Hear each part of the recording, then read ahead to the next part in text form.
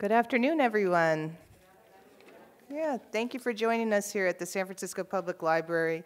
We're really pleased to welcome back Dante King to talk about how anti-blackness has permeated American Christian institutions and how it is still with us today in our culture.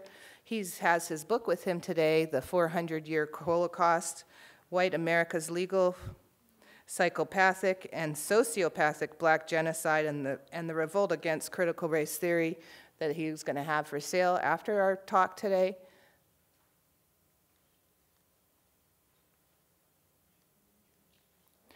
But before we get started, I just wanted to let you know that we are located in the area known as the San Francisco as San Francisco which is on the unceded ancestral homeland of the Ramaytush Ohlone peoples of the San Francisco Peninsula. As the original peoples of this land, the Ramaytush Ohlone have never ceded, lost, nor forgotten their responsibilities as the caretakers of this place, we recognize that we benefit from living, working, and learning on their traditional homeland, and as uninvited guests, we affirm their sovereign rights as First Peoples and wish to pay our respects to the ancestors, elders, and relatives of the Ramaytush community. So I've taken several trainings with, with Dante when he used to work for the city, and he used to say, it's going to get deep. So before I bring him out to the stage, I just want to give a little brief introduction. Dante King is a native of San Francisco, California. He is an author of the new book, The 400 Year Holocaust, and he is also a professor of American history, African American history, and Black studies. His research interests include the intersections of race, racism, and legality throughout pre and post colonial America. And King currently serves as guest faculty at the University of California, San Francisco School of Medicine as well as the Mayo Clinic, or Mayo Clinic. So please join me in welcoming Dante King.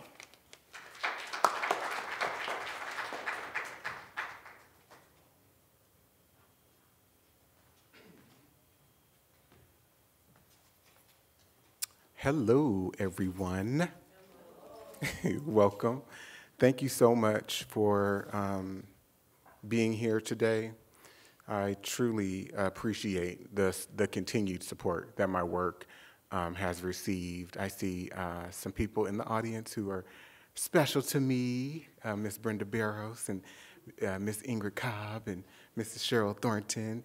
Um, and I also want to take this time to give some thanks to a few people before we get started.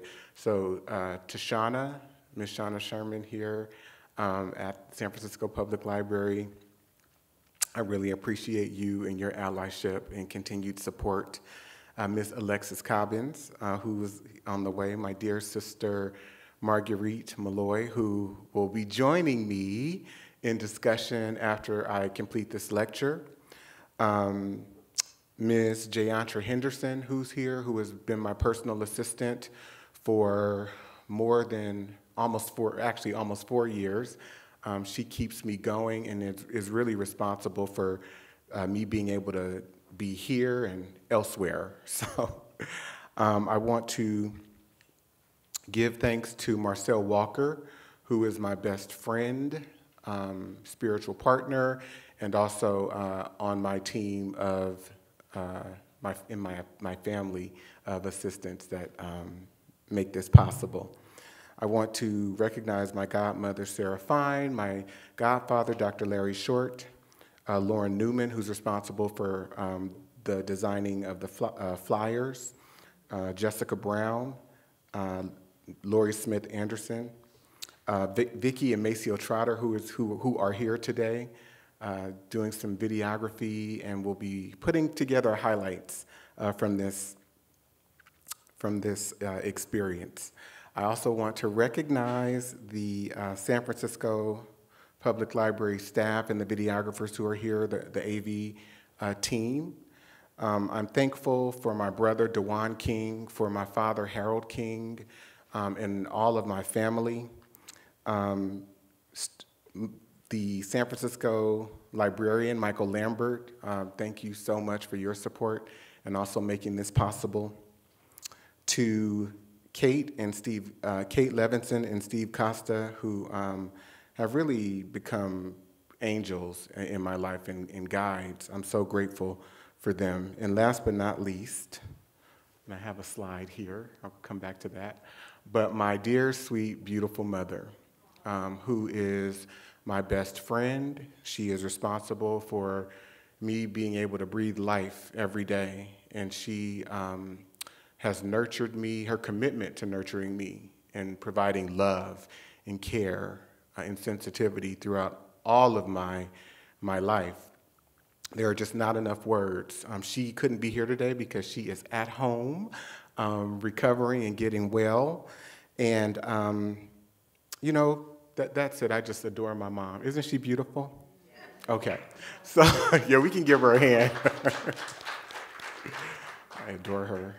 So, um, I, as Shauna mentioned, I have books that are for sale here if you haven't gotten a copy. I will be signing them uh, in, during the five minute intermission as well as after. Um, let me go back. So, we are going to talk about, and there's a handheld here.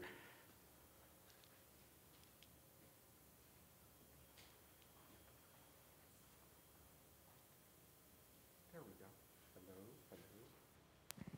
It's on. Okay, I got it. Thank you. Okay, so for those of you who know me, you know I don't like to stand in one place, okay? So um, we're going to talk about the evolution and normalcy of white supremacy and anti blackness in academic, scientific, and medical philosophy. Raise your hand if you've uh, heard about that previously. You've explored some of that topic. Okay um, you're going to become very familiar with it today. The usage of such philosophies to reinforce and legitimize systematic violence and genocide through criminality, lynching, rape, sterilization, economic deprivation, and all other debasement. So these philosophies uh, have been used and continue to be used, and we still use them today uh, against black people. We're also going to talk about how this uh, set up the, the playbook for Adolf Hitler and what prevailed in 1930s Germany and uh, leading to the, the Holocaust. So we'll start off, we're gonna, I'm gonna share some slides with you and then we'll do a brief activity. And as I'm sharing this information with you in these few slides that we will um, explore during this beginning, I want you to begin thinking about one takeaway from just the few slides I'm going to, going to share with you to set this up. You got that? Okay, wonderful. So we have in 1636 um, the first academic institution being set up in the colony of uh, Massachusetts Bay, um, Harvard University. How many of you are familiar with Harvard? Okay, so it's set up and uh, established by clergyman John Harvard, who is an English minister and also a slave owner. Uh, we have William and Mary College, which is founded as a public research institution in 1693 by King William III and uh, Queen Mary II. We have Yale, that's uh, established in 1701, uh, renamed after the British trader, merchant uh, Elihu Yale. Then there's Princeton in 1746, and it's established by uh, Presbyterian ministers, John Dickinson, Aaron Burr Sr., John Witherspoon, who's noted as one of the founding fathers of the United States of America, as well as William Tennent. We then move on to Columbia University, um, which was established in the colony of New York in 1754. And just quickly, you don't have to say anything, but just by show of hands, are any of you recognizing any specific or particular themes as you're seeing these slides? By show of hands. Okay. Um, there's the University of Pennsylvania, which is founded by Benjamin Franklin, as well as George Whitefield, um, who has some association with the Anglican uh, Church. They are both noted as founding fathers of the United States. This university is founded in 1755. Then there's Brown University, that's founded by James Manning um, John Brown, uh, and Moses Brown, who have, are, are, all associated with the Baptist Church. These are Baptist ministers. Um, and so John Brown, who's a slave trader, um, it's noted that uh, Moses Brown was an abolitionist, but who knows? Um, so the, they have a, an intertwined or, or intertwined affiliations with both um, Christianity and religion, as well as uh, trafficking in, in African humans. You all got that? And these are the, these are the uh, founders of, of knowledge, of education in the continent of, of America post the 16th century. So it, we're, this is in the, into the 17th and 18th centuries, okay? Um, Rutgers University, named after Henry, Henry Rutgers in 1766. And then lastly, Dartmouth, which is established in 1769, okay? Um, take a moment and find someone or locate someone that is either seated next to you, or if you don't have anyone seated next to you, turn around maybe. And I want you to share just one reaction to the slides that I just shared with you because, again, I want to reinforce that these are the establishers and framers of what becomes uh, known or recognized, rather, as knowledge, as education, as intellect. These are the people who are responsible for setting the educational and academic landscape for what would become known to your ancestors and people who have come before us as knowledge, as the only set of, of knowledge or education. They are responsible for the tools and the resources that have inculcated each one of you as you sit here today. So I want you to talk just very briefly uh, about just a, a quick takeaway, all right? 45 seconds. all right. So if you hear my voice, go ahead and raise your hand. Okay. Um, any interesting thoughts come up for you? Or how many of you had interesting thoughts come up, come up for you? As a, yeah. Um, I think it's so important to do that type of setup or share that, that context? Because what we're now going to do is take a look at the type of philosophies that begin to emerge as a result of these institutions and people who came out of these institutions who were then incentivized and positioned to develop philosophies and educational frameworks that were um, noted or hailed as scientific, as academic, as expert uh, philosophies or expert um, framing the uh, yeah philosophies that begin to circulate or be circulated widely. Okay, so when we look at the impact, so what does the what impact does white supremacy have on the entire educational and academic framework in America? What then is education at its core? And so when you begin to dig into those questions, what you will see is that education in America um, is just another institution to indoctrinate people to serve the interests of white people. Um, it is to serve them in their economic system. It is to serve them on modern day plantations that um, we look at now for instance, such as the institution of the city and county of San Francisco, Google, Facebook, um, Twitter, any um, modern day labor institution that you can look around, all of our, um, our, our, our only place here is to really serve the interest of white people, and most specifically white men um, who make up the boards of these institutions, the chairpersons of these institutions, the, the CEOs, CFOs of these institutions. And so, again, turn to your neighbor and say, Neighbor, what then is education at its core? Okay?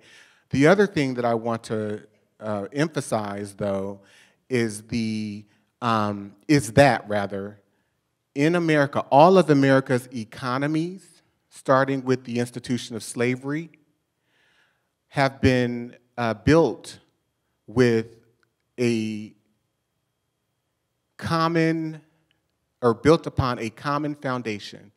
And that common foundation is black suffering and pain. Does that make sense? And I'll just say this this is not going to be a, a main focal point in this lecture, but we move uh, from a free labor market or free labor force during, from the institution of slavery or, or the enslavement of, of African people.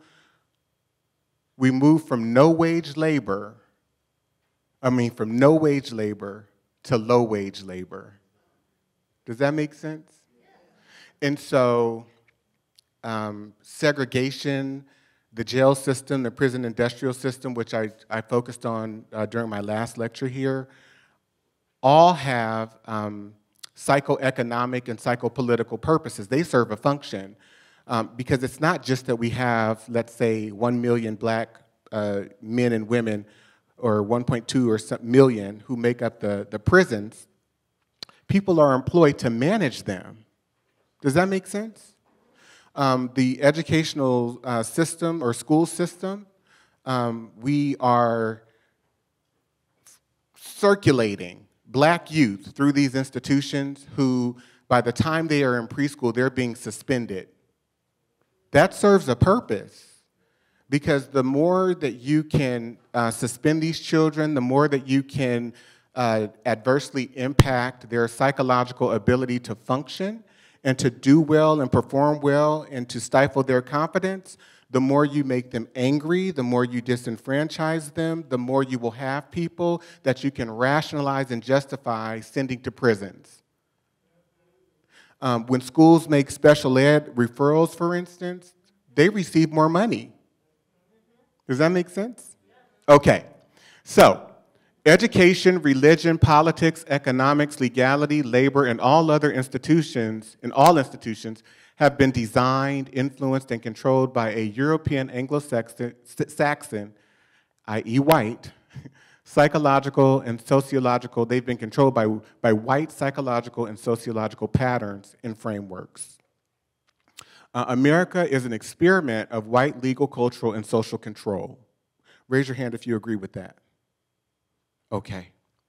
Um, and I always say this you don't have to agree, because this is my research, and uh, you would have had to have my experiences and really uh, endeavored into all of the sources that I have in order to, to fully agree. So I recognize that. So Dr. Amos Wilson, he says, culture is a means by which a group of people organize the way that they think, believe, and see the world so as to create a consciousness by which they cooperate in achieving certain ends so that they can mutually aid each other and gain ends that they cannot gain as separate individuals. Culture is an instrument of power. The individual, through culture, extends the power of the group. So I'm going to, uh, in my book, I reframe this.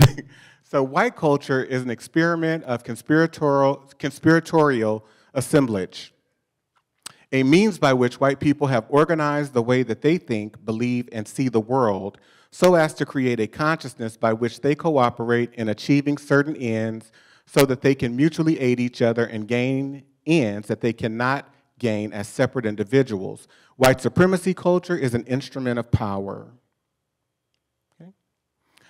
So I'm going to uh, refer to works by Dr. Harriet Washington and her work on medical apartheid, uh, Dorothy Roberts, her book Killing the Black Body, um, Deirdre Cooper Owens and her work around medical bondage, as well as uh, Michelle Browder, Dr. Dr. Catherine Bincole Medina, and Dr. Bobby Wright, to name a few. I'm going to share info from others as well. Um, so white supremacy and anti-blackness and, the influence on scientific racism. So we're going to talk about the impacts of all of this on culture, on shaping the, the, the cultural psychology and sociology around white supremacy and anti-blackness. So we have um, in the early 19th century, really, Dr. Charles Caldwell. He's the first one, and he's come. He comes out of um, the University of Pennsylvania, okay? And he introduces the mind science of phrenology. So phrenology is a pseudoscience which involves the measurement of bumps on the skull to produce mental traits. So he looked at brains per his own observations and established that because black people, when he looked at the skulls of, of black individuals, they had uh, less bumps on their skulls. And he argued that uh, our rightful place as African people or people of African descent was slavery, because from his observations of looking at different uh, brain formations or the bumps on brains, we had less. Okay? So turn to your neighbor and say, um, phrenology. Turn to your neighbor and say, fit, fit for enslavement due to a lack of intelligence. And one of the main themes that I want to invite you to pay attention to is really how these individuals made up. They made up these philosophies, and yet they were also positioned inside of these highly ranked, highly regarded, world renowned academic institutions. They were incentivized and they were rewarded, okay? Um, so you have people like President Thomas Jefferson, who, um, you know, latches on to these types of theories. He says, I advance it, therefore, as a suspicion only that the blacks, whether originally a distinct race or made distinct by time and circumstances, are inferior to the whites in the endowments of both body and mind. We then go to Dr. John Van Evrie. Dr. John Van Evrie says in his book, um, Negroes and Negro Slavery, God has made the Negro an inferior being, not in most cases, but in all cases. Turn to your neighbor and say, but in all cases. But white men as equal. Dr. John Van Evrie espoused the concept that the different races were six distinct species, with the Caucasian being superior to all others, and that any attempt to abolish slavery would result in the universal degradation and destruction of the white blood of America, with consequent overthrow of Republican institutions and, indeed, the new civilization and Christianity of the New World. When have we heard this? it's, it's been very uh, present, manifest, uh, manifested in, in our current environment. It's, it's been very present here lately. Um, and so, what we, what we need to understand is the compulsive need for a group of people to situate themselves as superior, to be able to have others that they can see as less or inferiorize so that they can have value.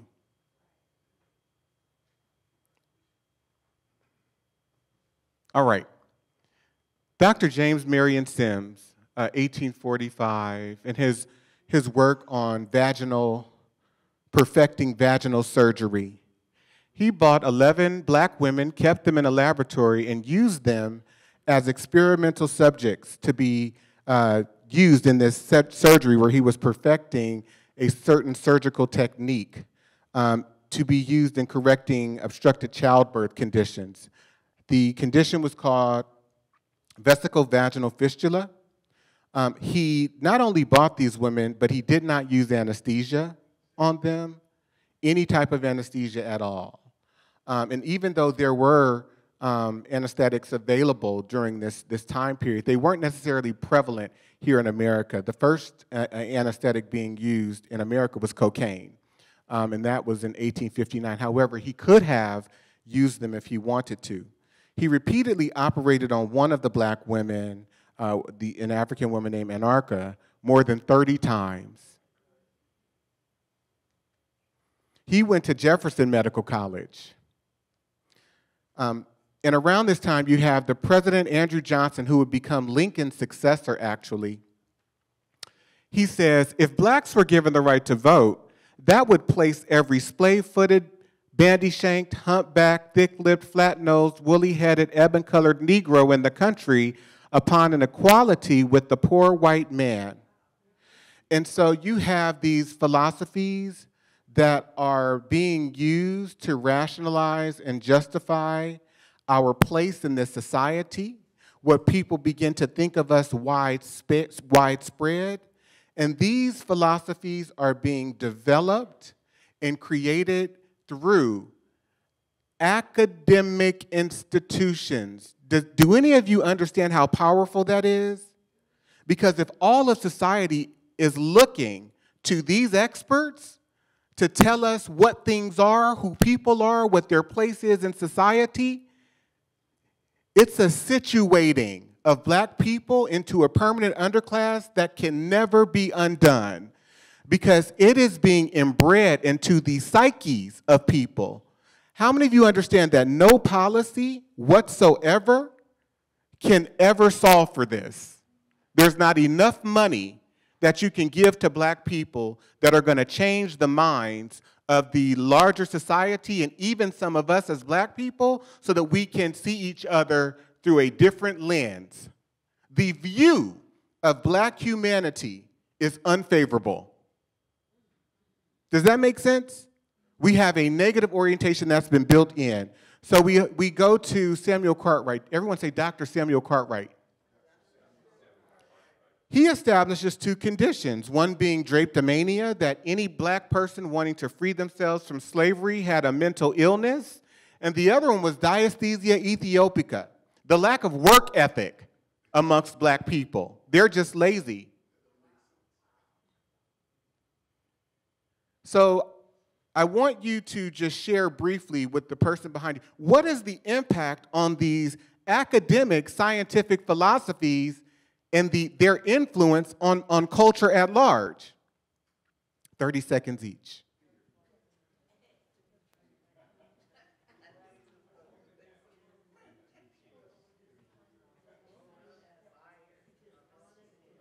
All right. If you hear my voice, go ahead and raise your hand.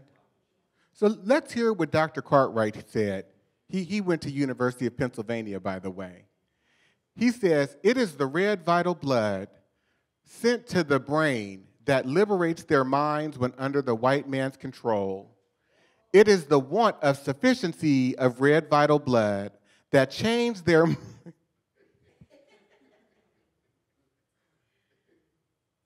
that changed their minds to ignorance and barbarism when in freedom. So we have a different blood than white people. Are you all, are you all seeing this? This represents, these people represent America's best. They represent the epitome of what it means to be white. And so they're building not only their legal system to disenfranchise black people, but the entire educational system that works to inform not only white doctors, but Asian doctors, Hispanic doctors, uh, black doctors, of how to deal with black people. I, my mother, right now, is, is recovering from an illness, and I have been her main caretaker in terms of correspondence with doctors. And I have had to, in layman's terms, check a few people because they deal with black people in very different ways. And I have had to let them know I'm very familiar with the ways uh, psychosis has been embedded into the medical field so that you don't provide black individuals with optimal care, and that this will not be the case with my mother. It won't. Um, so he became known, Dr. Cartwright, as the expert in Negro medicine. He argued that slavery was beneficial for black people for medical reasons because we had lower lung capacity. And so forced labor would be good. Turn to your neighbor and say, forced labor would be good for them. okay? How many of you are finding this? In, in my book, I talk about the, the, the um, psycho, psych, psychopathy and the sociopathy of, of, whiteness and white people. How many of you are seeing that? I, I use words such as maniacal, diabolical. How many of you can see that and what I'm, what's being shared here? Okay, let's continue. So I'm going to actually skip past this. We, we then go to Dr. Josiah Nott, who was credited with um, developing the science of polygenism, skull studies, which, had, which concluded each race had a different origin. Dr. Nott argued the skull formations of white people made them superior, and enslavement was the perfect condition for black people because of the ways our skulls were shaped.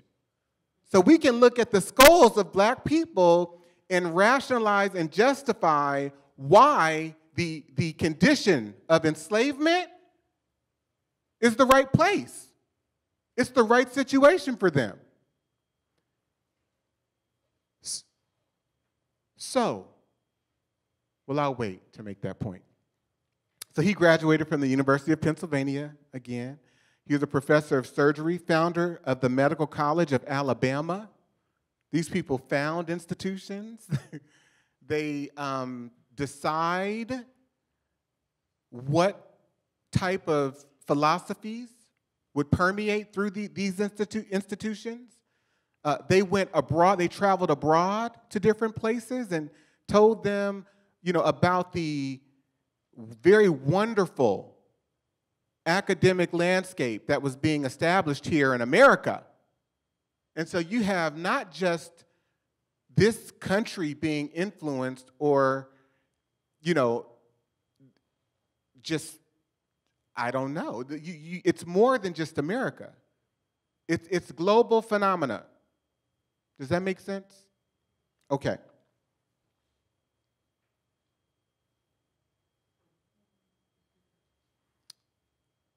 He argued that black people were creational rank between Greeks and chimpanzees in terms of intelligence. So, what then does it mean to be educated, intellectual, or an academic? What is education?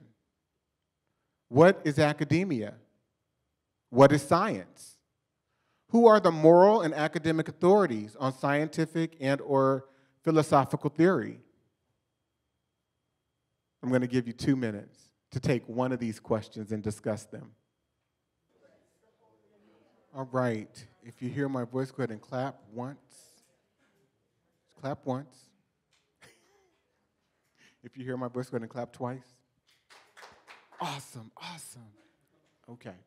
So, um, Cheryl Harris, who is a school, uh, a professor of law at UCLA School of Law, she says, moreover, as it emerged, the concept of whiteness was premised on white supremacy rather than mere difference. White was defined and constructed in ways that increased its value by reinforcing its exclusivity. How many of you see the increasing of what it means to be white by these scientific philosophies that are being established?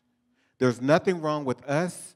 It's them, them, them, them, them. So let us create these philosophies and rationales that in, di directly influence the ideological value structure here in America so that we can, by principle, by scientific principle, establish that we are superior and that all else are inferior. And we're going to make up explanations and create details to rationalize and justify and explain how non white people, and most specifically black people, are inferior. And so this is a, you know, I know that there is a lot of conversation um, and discussion many times around how um, is is the oppression, how has the oppression been different with, with black Americans? You know, black people seem to be so angry because, you know, they experience racism, but you know, I'm Hispanic or I'm Asian and I've experienced racism too. I've experienced white racism too. It's different. It's different. You didn't have academic uh, philosophies that explained away your humanity in ways that uh, allowed for the dehumanization of your community. And it was, it's also in, embedded into entertainment, uh, in, in, um, in terms of minstrel shows that began to emerge during the, the 19th century. It's also prevalent in criminality because these scientific and academic philosophies begin to be used by the legal system to determine what criminals look like. So turn to your neighbor and say, Neighbor, a foolproof plan on how to enact and normalize genocide because you get everyone to buy in to, to how black people are inferior. And it's on a spectrum because that black may not be as bad as that black. You get what I'm saying? But we can still lock them up if they're murdered. Let's not feel any empathy. And I'm, I'm going to challenge you. I want you to go away out of here. I'm going to give you homework from when you go, go from here. Go and locate five news stories about a, um, about a tragedy that has happened to a black person or a black family, I guarantee you most of the comments that you're going to find um, in the story will be questioning what did that person do to experience that, to have that tragedy come upon them. It's not, they won't be filled with comments of compassion or empathy. Do you understand what I'm saying? Just go and look at five videos on YouTube or five news stories Okay, so whiteness is a political organization created and structured for the purposes of power, supremacy, domination, exclusion, and oppression through legal, social, cultural, psychic, emotional, economic, and all other institutional power and control mechanisms. It encompasses the vilification and villainizing of people considered non white and most severely humans labeled as black people and or African American for the purposes of spiritual, emotional, psychic, economic, physical comfort and gain. Dr. Thomas Roderick Dew, graduate of, uh, or actually the 13th president of William and Mary College, professor of history and metaphysics, a supporter of slavery, he argued that enslaved black people were not fit for the condition of freedom, so their rightful place was there. We need to keep them there. Because it, turn to your neighbor and say, because it's scientific. Mm-hmm. Orson Fowler and Samuel Wells, and I tell you, when, when I found this, I almost fell out of my chair. When I found this, I almost fell out of my chair. I was at my uh, computer just researching and, and studying away. And I said, wait a minute, wait a minute. Okay, so you'll see. So they are um, the, the uh, founders of the Fowler and Wells Company, a scientific institution that had wor a worldwide reputation. For 57 years, they maintained an office in New York City for over a half a century. Do y'all understand that? Okay, watch where this is going. They, they became the leaders in the phrenological, and physiological and hygienic sciences. For half a century, they were the main educators in these branches of study. So everyone who studied after them re referenced them. They referred to them in their work, okay? They were the first in America to give the science of phrenology a practical value by making special delineations of character. So Mr. Fowler went to the University of Massachusetts, um, they developed these pamphlets and books on how to read good character. So we can tell how to read character. We're the experts in that. Do y'all understand how maniacal this is? Okay, so watch this. Physiognomy, Dr. Wells, he establishes the science of physiognomy. Say that with me physiognomy. Okay, so physiognomy is the practice of assessing a person's character and intelligence or personality from their outer appearance. We can just tell by looking at people. So, varying grades of intelligence. We're going to make up drawings of, of what symbolizes intelligence and what I can see the gentleman shaking his head because it's, it's unbelievable. So we can tell whether someone is intelligent, unintelligent, has the capacity to develop intelligence or not develop intelligence just by looking at them. Bearing in mind, this is page 126 of this book, New Physiognomy, bearing in mind then its limitations and modifications, it is well in all cases when making a physiognomical examination to observe the facial angle. Face, figure 142 will help to convey an idea of the different grades of development and intelligence as indicated in the profile, size, as well as form being taken into the account. And this is taught in anthropological theory and research. These are the experts in this field.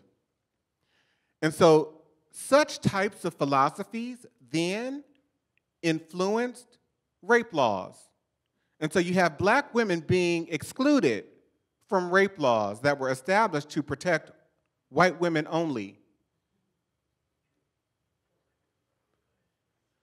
And when going to court with these cases, these academic theories influ- were presented to juries. They were presented to the judge on, on why it was permissible to rape black women. And I, I include in here one of the cases I referred to in my last presentation here back in May 2022. This was the uh, George v. State ruling in Mississippi, the Mississippi Supreme Court, which was argued against a black male slave who had raped a nine year old black girl on a plantation. And the court concluded that rape could only be committed upon a white woman. Here's what the, the, the, the transcript said The crime of rape does not exist in this state between African slaves. Our laws recognize no marital status as between slaves their intercourse is left to be regulated by their owners. The regulations of law as to the white race on the subject of sexual intercourse do not and cannot, for obvious reasons, apply to slaves. Their intercourse is promiscuous, and the violation of a female slave by a male slave would be a mere assault and battery. And so these scientific academic philosophies influenced how black women and black men and girls and boys were dealt with through the court system, through the legal system. Because we have academic philosophies and ideological principles to back it up. How many of you are seeing what's possible when you justify and rationalize something through your educational model, your cultural model, your value structure. You can demonize and degrade in the worst ways anyone you choose. And so we haven't, I haven't talked about Adolf Hitler yet, but can you see how he looked to America and what was going on here? Okay. Abraham Lincoln, 1858, this is in a Senate race. He says, I will say then that I am not, nor ever have been, in favor of bringing about in any way the social and political equality of the white and black races. That I am not, nor ever have been, in favor of making voters or jurors of Negroes, nor of qualifying them to hold office, nor to intermarry with white people. And I will say, in addition to this, and I will say, in addition to this, that there is a physical difference. You all understand that? There is a physical difference between the white and black races, which I believe will forever forbid the two races by living together on terms of social and political equality. He is obsessively preoccupied with the physical difference, as all of these scientists are.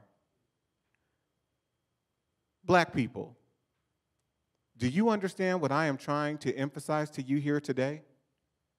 There's an obsession that is predicated upon the way we look that allows for continued dehumanization, and we will never be able to escape it because white people in this country have trained everyone in the society to be sociopaths when it comes to black people.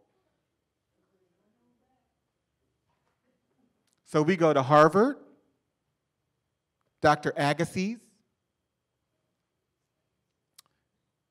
He argued that black people were created along with other beasts and animals in the Garden of Eden. Turn to your neighbor and say, Harvard. Turn to your neighbor and say, it's, it's the, one of the best schools. It's, it's one of the top schools in the nation.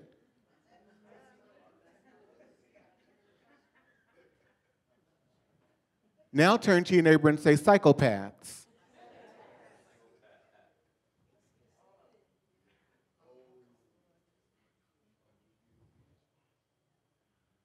These academic principles justified lynching of black men and women. They justified our, our castration. They justified rape. And as a community, people just gathered around and took pictures. And not only did they take pictures, they situated themselves in the photo so that they could smile and give a presentation of what was being done because they knew that there would be no accountability. Because we have the best of the best creating theories to justify it.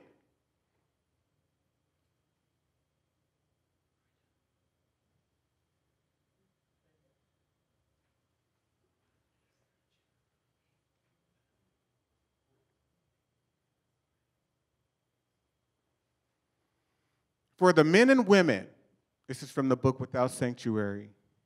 For the men and women who comprise these mobs, as for those who remain silent or indifferent, or who provided the scientific scholarly explanations. This was the highest idealism in the service of their race in preservation of their heritage. So, anti blackness, as I define it in my book, The 400 Year Holocaust, is a white American legal, social, cultural, economic, institutional values, and belief system. It involves the deprioritization of humans labeled as black people, as well as the criminalization, and let me be clear what I mean by criminalization. Criminality is situated onto black identity. And I'm not use, I'm using it in the context that in, in a context that is broader than how we typically refer to that word in terms of the legal system. I am saying that on your jobs you won't be promoted because your criminal your criminalized identity precedes you. And having worked in human resources management for more than 15 years and I've run recruitment processes for different leaders at different organizations. I have seen it all the time. There is a presumption of potential that precedes white and Asian people. I think they're going to be good for the team because they seem like a self starter, they seem motivated, they seem highly efficient. They seem, they seem, they seem. You're able to tell all of that in 30 minutes. But this black woman or black man comes through the door, they don't seem like they're going to be the right fit. They, I, did, I don't think that they exuded enough confidence. They didn't have enough momentum. Do you understand? Rationalize, rationalizing what, that the person is not capable or competent, competent to fill the role. So, um, it's the, the criminalization Hypernegativity. Turn to your neighbor and say, it's not just negativity. Turn to your neighbor and say, it's hyper negativity. Okay? It's, it's not just a scrutiny, a simple scrutiny, it's hyper scrutiny. And negative positioning. It's the negative positioning of black people in this culture throughout all aspects of American society and life for the purposes, it serves a purpose for the purposes of justifying and rationalizing political, social, cultural, economic debasement and inhumane treatment, ultimately genocide. In black people, the illness in the black community is that we have accepted it. We have assumed agreement in this culture through force and deceit, but now of our own volition. Because we have to seem better than the average or lower class Negro. How many of you understand what I'm saying? Okay. So, American culture socializes and trains people to develop and possess innate psychological and emotional reflexes and impulses that react negatively to black people, especially black people who do not conform to and or emulate white sociocultural standards. How does this evidence support the framing of my book subtitle, White America's Legal, Psychopathic, and Sociopathic Black Genocide? I'll give you one minute each to share a quick answer to this question. How does the evidence that I presented here for you today explain this framing, which is in the subtitle of my book? I'll give you two minutes. All right, if you hear my voice, go ahead and clap once. I'm going to ask is there anyone who wants to share very uh, briefly what you discussed or what came to mind for you in, in, terms, of, in, your, in terms of a response to this question? Uh, oh, and then we'll come to you, Brenda.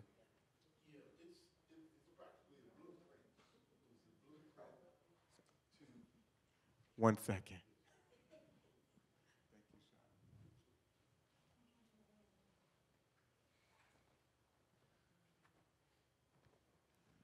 basically what you revealed was the blueprint to establishing not only just the legal system, but such integral um, legal systems like the labor board, yes, which reinforced slavery after slavery and created the wage and the perpetuation of jobs in America still today, where you have the, the white overseer coming on on all jobs like you said, it, it was stated that you couldn't uh, elevate. It was a glass ceiling because the overseer mentality was destroying all of the blueprints. Can I encourage you to um, shift your language a little bit? Yes.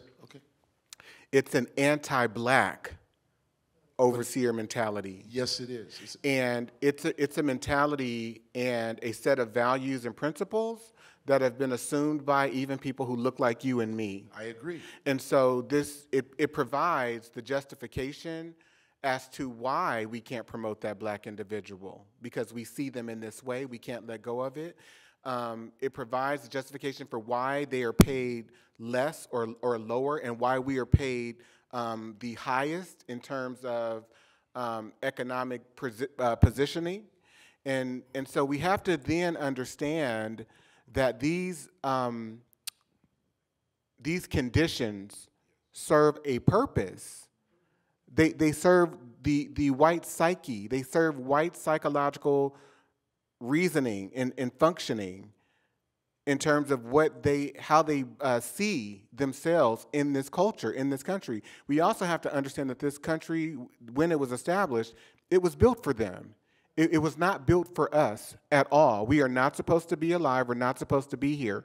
We're only here so much as it serves the purpose to provide the low wage labor force. Um, and it, it also provides the, the psychopolitical functioning of black inferiority to maintain white superiority. It's a caste system. We're, we're needed here in order for white people to have value. And that's true for Asians, it's true for Hispanics, not as in depth or not as severe, but that is how it functions. And so we then, you know, for as much as people talk about all of the work that has been done by black civil rights activists and, and, and white allies to get rid of anti black racism and white supremacy, it will never leave. It won't, because it is the foundation of this country's culture, institutions, everything. And in order to survive it, black people, and this is true for me, I'm here today because I've been groomed by white people in order to navigate these institutions. And they have been comfortable with me and provided support and everything because I've accepted the assimilative nature, speech, presentation that provides that they would be or have a certain level of comfort with me. And so I, you know, when I'm doing the, my work, as much as my work is a critique of whiteness, white psychopathy, white sociopathy, I then have to critique blackness because these people are responsible for our existence. And they've controlled the legal, educational, political, economic, religious landscape that we have acclimated to. And I say very firmly in my book black people, black American people, have never known a reality outside of the existence of white people and they have dominated us. We have accepted every model of progress based upon their standards. Every model of what is bad, not right, what is acceptable, what's good, civil, based upon their standards. We've never known a reality without white domination. Can you see it, black people? Is it penetrating through your body? Yeah. And it's done the most harm because then we don't provide a level of understanding, empathy, compassion to those blacks who've been caught up who've been ravaged by this culture and its systems. Brenda.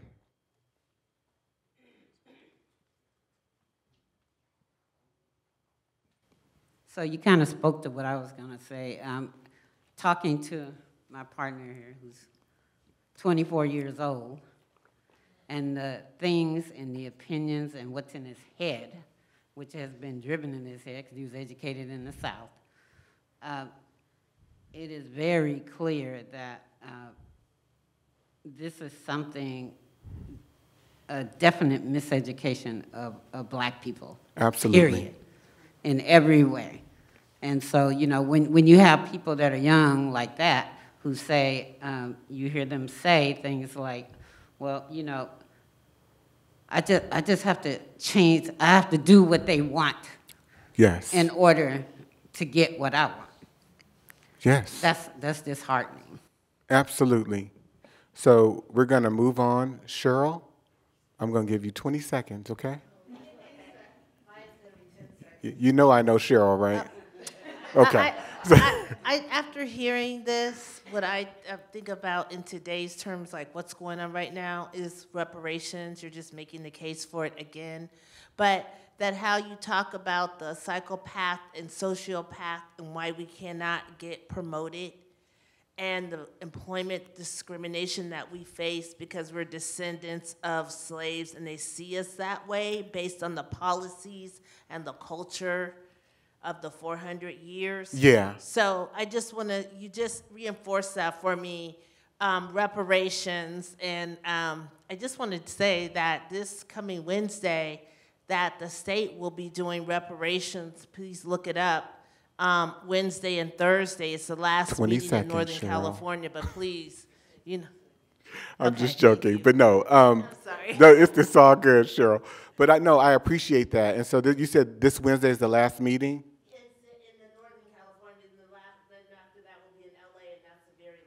Okay. Okay. But yeah, it's not that people in this country just see us as slaves, because I, I want to broaden the, our language around that. They see us as, as having an animalistic nature. They see us as being subhuman, inhuman. There's a negative halo positioned around you. And I, you even hear it from some black people. We don't like black hair.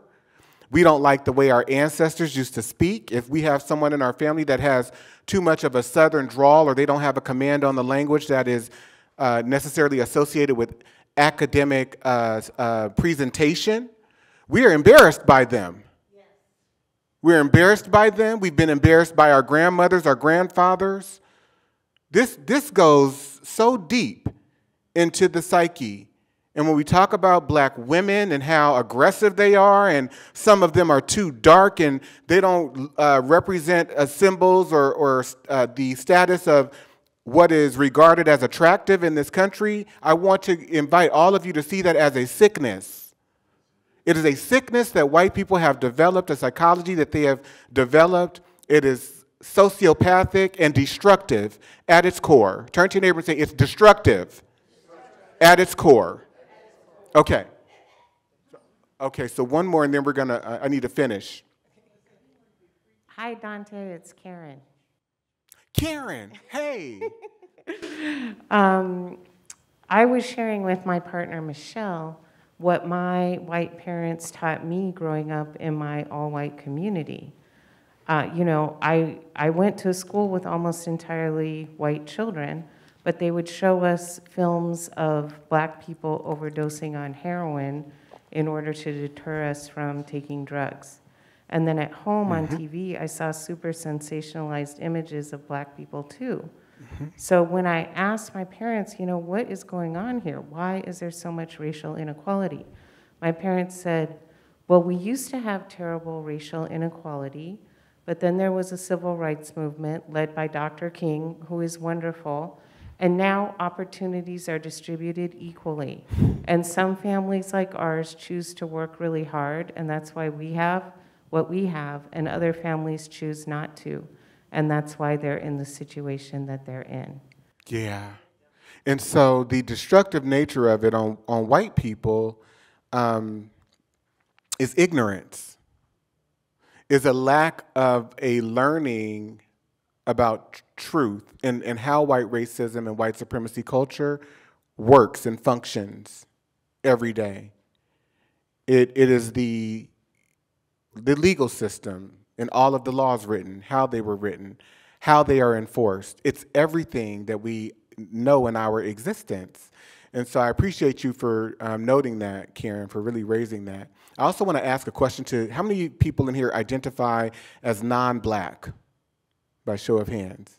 Okay. I'm going to ask you, all of you people who are here, um, if you learned that you somehow had greater value to black people, that you were better than black people, you saw it in your environment when you grew up, it was reinforced and impressed upon you over and over and over again in what you learned in school, the books you read, how people were positioned, what you saw in entertainment, on television and magazines, if you learned that you had a greater uh, humanity, that you were better than black people, I want you to stand up.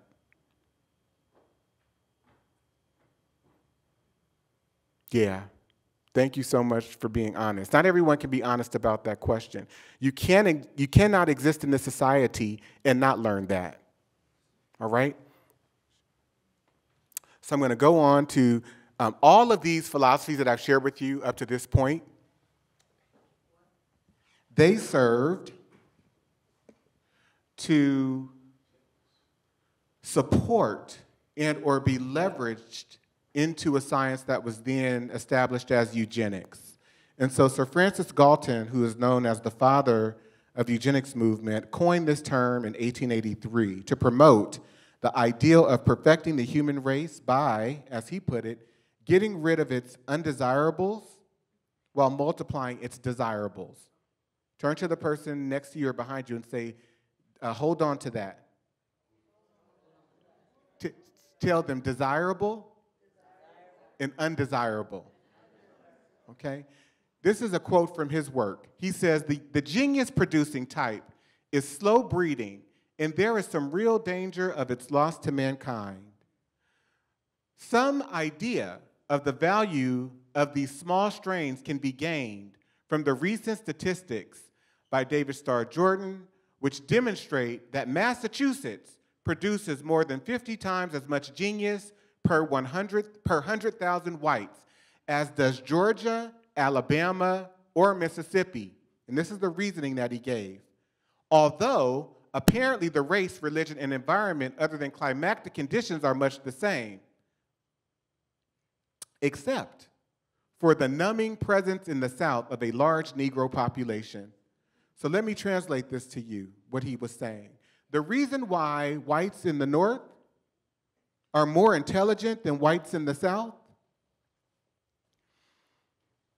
is because in the South, there are more Negroes. And so just being in, in proximity to black people makes you less intelligent. But you have to understand these sciences led to the Supreme Court ruling that black people needed to be relegated into ghettos to live separately from white people. Do you understand what I'm saying? So they justify legal principle. Charles Davenport, who established the first eugenics office in 1910, uh, recommended widespread eugenics education. This was circulated in every institution around this country, including immigration laws to keep out the defectives, enforced sterilization of native born and immigrants. So we have to sterilize people that we deem as retarded, who in some cases may be white. We also have to sterilize the Negroes because we've got to stop their ability to be able to reproduce. Everyone say Dr. Madison Grant. He's an anthropologist, a lawyer. He writes this book in 1916, The Passing of the Great Race, which was um, hailed uh, and highly regarded by Adolf Hitler. And so I'm going to quote from some of the pages in this book.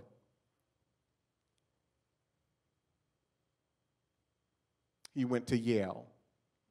He says, whenever the Negro, or when, oh, I'm sorry, whenever the incentive to imitate the dominant race is removed, the Negro, or for that matter, the Indian, reverts shortly to his ancestral grade of culture. In other words, it is the individual and not the race that is affected by religion, education, and example. Negroes have demonstrated throughout recorded time that they are a stationary species and that they do not possess the potentiality of progress or initiative from within. Progress from self impulse must not be confounded with mimicry or with progress imposed from without or by social pressure or by the slaver's lash. Mistaken regard for what are believed to be divine laws and a sentimental belief in the sanctity of human life tend to prevent both the elimination of defective infants and the sterilization of such adults as are themselves of no value to the community. The laws of nature require the obliteration of the unfit, and human life is valuable only when it is of use to the community or white race. So, in other words, we must sterilize people who don't meet up to our standards of intelligence, of moral development. A rigid system of selection throughout the elimination of those, I'm sorry, a rigid system of selection through the elimination of those who are weak or unfit, in other words, social failures, would solve the whole question in 100 years, as well as enable us to get rid of the undesirables who crowd our jails, hospitals, and insane asylums. The individual himself can be nourished, educated, and protected by the community during his lifetime, but the state, through sterilization, must see to it that his line stops with him, or else future generations will be cursed with an ever increasing load of misguided sentimentalism. This is a practical, merciful, and inevitable solution of the whole problem and can be applied to an ever widening circle of social discards beginning always with the criminal, the diseased, and the insane, and extending gradually to types which may be called weaklings rather than defectives, and perhaps ultimately to worthless race types. And so, using these types of philosophies, and, and, and Grant's work was like the cream of the crop. You have Virginia establish a sterilization law that is used against this woman named Carrie Buck. And they sterilize her without her consent against her will because they deem her as retarded. Okay? They also develop a Racial Integrity Act, which became law the same day that that Sterilization Act was um, implemented um, to protect the integrity of the white race, the racial integrity of the white race. In 1927, because Buck argued her, her case all the way up to the Supreme Court, the United States Supreme Court ruled that permitting compulsory sterilization of the unfit, including the intellectually disabled, for the protection and health of the state, did not violate the Due Process Clause of the 14th Amendment of the United States. So the United States ruled, essentially, that compulsory sterilization of unfit people, undesirable people, was permissive. It was practically fine. And so every state in the United States of America was required to develop a state eugenical board. I teach a course at UCSF. It's called Understanding the Roots of Racism and Bias, Anti-Blackness, and its Links to Whiteness, White Racism, Privilege, and Power. And I had a doctor tell me, he attended the course, he said, when I was at Duke University between 1970 and 1974, I worked with the eugenical, uh, uh, the eugenical um, sterilization board um, as, as a, um, I was a resident, and I had doctors, and, and we worked together to go around and locate 16 year old black virgins and give them hysterectomies. Because it was per- there was legal precedent. There was academic scientific precedent to be able to do it. So here's what I want to, to know from you, from any and every person that accesses my work. What about this is not sociopathic? What about this is not diabolical? And so you've got Chief Justice Oliver Wendell Holmes saying, It is better for the world if instead of waiting to execute degenerate offspring for crime or to let them starve for their imbecility, society can prevent those who are manifestly unfit from continuing their kind. 1927, Buck v. Bell. These theories are used to uh, establish, these are the uh, people who developed IQ theory, intelligence. So whenever we're talking about eh, IQ, my IQ is high, it's this, is that, it's all according to white standards, white psychological, diabolical, sociopathic standards that serve to do nothing but relegate black people and non-white people into the bottom of this society. So the development of intelligence in children, Alfred Binet and Mr. Theodore Simon. Okay, again, I mentioned this earlier, won't spend much time here, but these scientific academic principles serve to define how criminals are decided in terms of what they look like, their characteristics. You've got the Negro sane and Negro civil insane. Shorter, broader, higher head, light, lighter skin color, more woolly. These are your criminals. Certainly never say, these are what criminals look like. Okay. And then they also justify again, isolating black people away from white people into what become known as ghettos. This is 1910 from a mayor in Baltimore. He says blacks should be quarantined in isolated slums in order to reduce the incidence of civil disturbance and to prevent the spread of communicable disease into the nearby white neighborhoods and to protect property values among, among the white majority. So if they go to our schools, they're going to lower the value of the school. If they move into our neighborhoods, they're going to lower the value in the neighborhood. They have different diseases. All of this is, is established in America as a psychology and a, socio- and a sociology. Um, and so you've got cases like Euclid v. Ambler in 1926, where the Supreme Court decided that racial zoning ordinances, that practice was permissible. So before redlining, they're saying that only whites can live in this neighborhood by practice, because this is a Supreme Court decision, and that practice is widespread in the early 1900s, even before 1926, because the California Supreme Court upheld that racial zoning ordinances were permissive in 1919, the year my grandmother was born. And then you've got Corrigan v. Buckley in 1926. Let me read this flyer. Attention, white home, white home buyers. The largest restricted white community in Washington invites your attention to the decision of the U.S. Supreme Court that Negroes cannot buy in a restricted white section. So they, this court ruling established the, the principle of um, builders who were developing deeds and titles for properties. They could only be sold to white people. They could not be sold or resold to black people. How many of you understand that you can never make it out of this type of situation if you are the person or the group of people who are being targeted by show of hands? And there's so much more. So th this decision dismissed any constitutional grounds for challenging racially restrictive covenants and upheld the legal right of property owners to enforce these discriminatory agreements. And all throughout, you know, there were white individuals who were trying to sell properties to black people. They would be sued by the larger white community and taken to court bankrupt because they tried to go against these laws. So, what is the legal system? What is legality?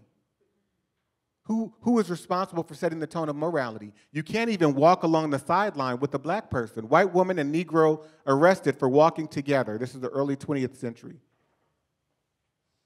A psychological obsession and preoccupation with black inferiority. Um, as America's elite were describing the socially worthless and the ancestrally unfit as bacteria, vermin, mongrels, and subhuman, a superior race of Nordics was increasingly seen as the answer to the globe's eugenic problems. US laws, eugenic investigations, and ideology became blueprints for Germany's rising tide of race biologists and race based hate mongers. So, here on this photo, you have uh, the president uh, of the, or the American executive secretary of the eugenics uh, uh movement here in the early 20th uh, century, Leon Whitney acclaims Hitler, hailing Chancellor Adolf Hitler as one of the greatest statesmen and social planners in the world. Leon F. Whitney of New Haven, Connecticut, former executive secretary of the American Eugenics Society, endorses Hitler's sterilization program, which is to be applied to 400,000 Germans considered defectives. You see where this is going? How many of you see, see where this is going? Okay. So Hitler says, I have studied with interest the laws of several U.S. states concerning prevention of reproduction by people whose progeny would, in all probability, be of no value or be injurious to the racial stock. This is an article written here in America. 15 million Americans defective, they say. Gigantic eugenic enterprise organized for sterilization of unfit of nation. They were going to get rid of black people and all others that they consider defective or unfit. New York, Miss E.H. Harriman's gigantic eugenic enterprise at Cold Springs Harbor, Long Island, to ascertain what is the matter with the human race, launched a campaign today for the sterilization of 15 million Americans. Coincident with this uh, amassing statement comes the announcement of the plan of the Eugenic Society which will have at its disposal the vast fortune of Ms. Harriman, liberal financial assistance from John D. Rockefeller, and Andrew Carnegie, and scientific aid from Alexander Graham Bell, and the greatest host of scientists ever joined in a great undertaking. So you've got America's finest leaders all bought in. So, black people, I'm going to have you stand up very quickly. Just please stand really quickly.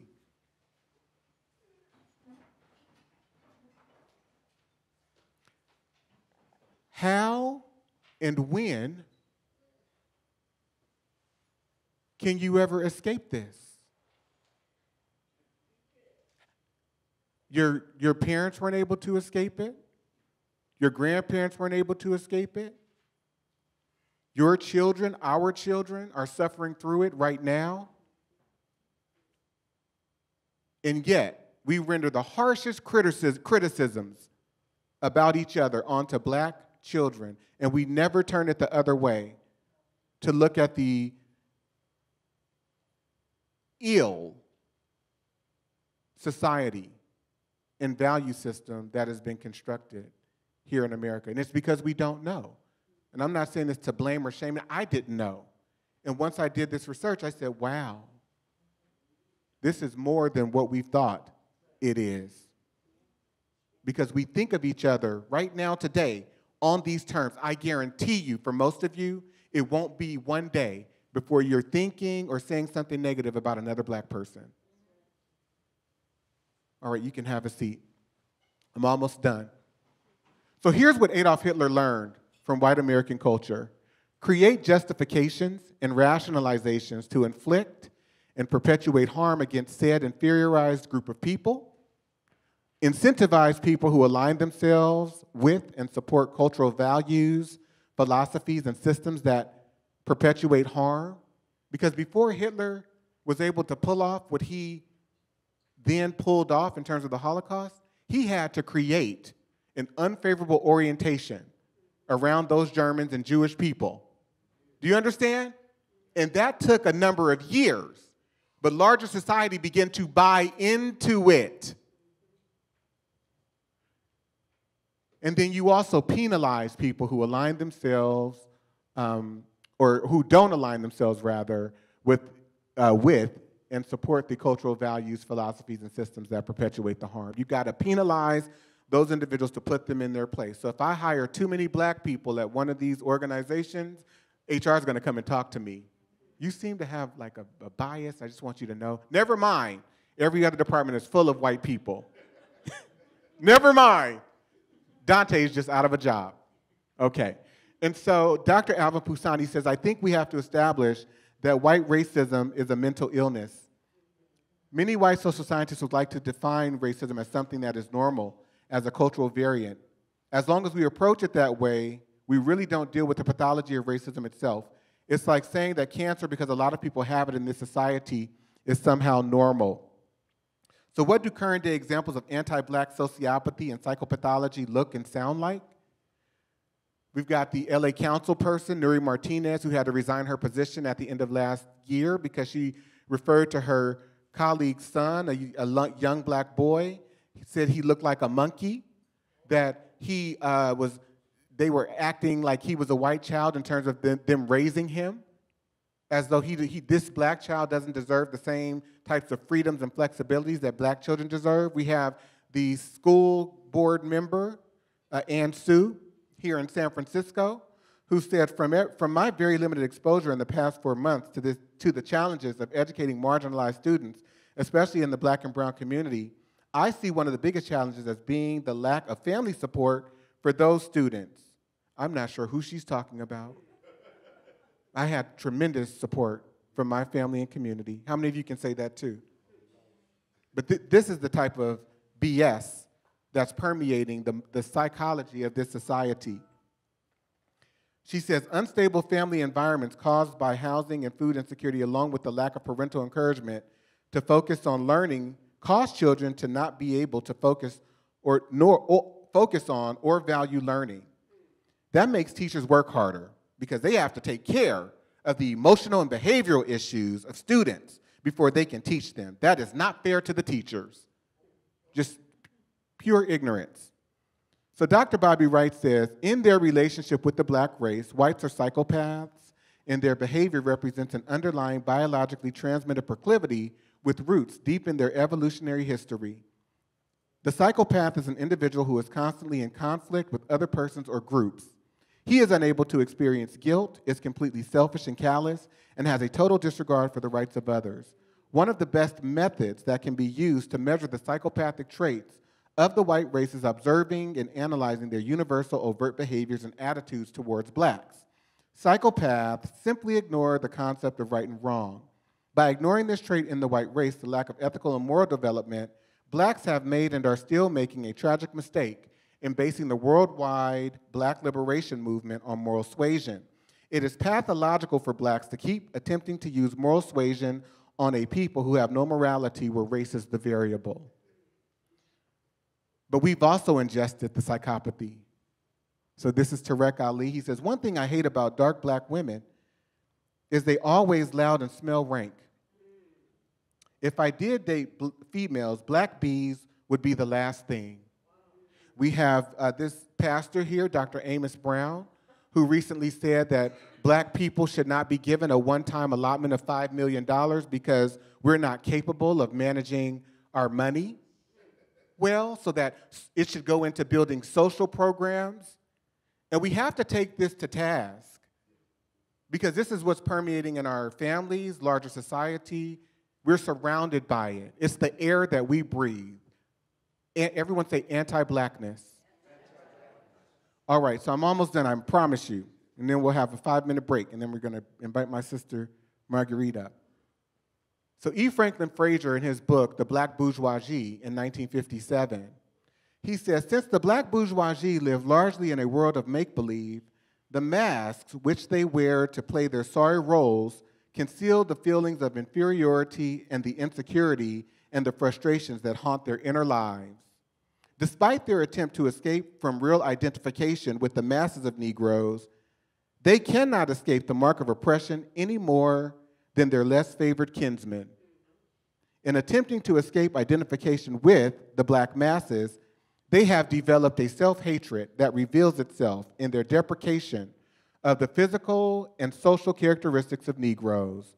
Likewise, their feelings of inferiority and insecurity are revealed in their pathological struggle for status in the isolated Negro world and craving for recognition in the white world. Their escape into a world of make believe with its sham society leaves them with a feeling of emptiness and futility, which causes them to constantly seek and escape in new delusions. And so I'm going to quote from an article that I located by Sage Howard. She says, I grew up in a household where our American dream was black excellence. On the surface, black excellence is simply the celebration of the success of a black person. At its root, however, it measures a person's ability to attain mainstream white standards of success despite facing constant adversity. As I now understand, as I understand it now, black excellence means adhering to respectability politics, a deceptive vehicle that measures my worth by standards set by white men. And that is true for every single one of us. And so Dr. Randy Borum, I'm going to close with this. He says the transition into becoming a terrorist is rarely sudden and abrupt. What we know of actual terrorists suggests that there is rarely a conscious decision made to become a terrorist. Most involvement in terrorism results from gradual exposure and socialization towards extreme behavior.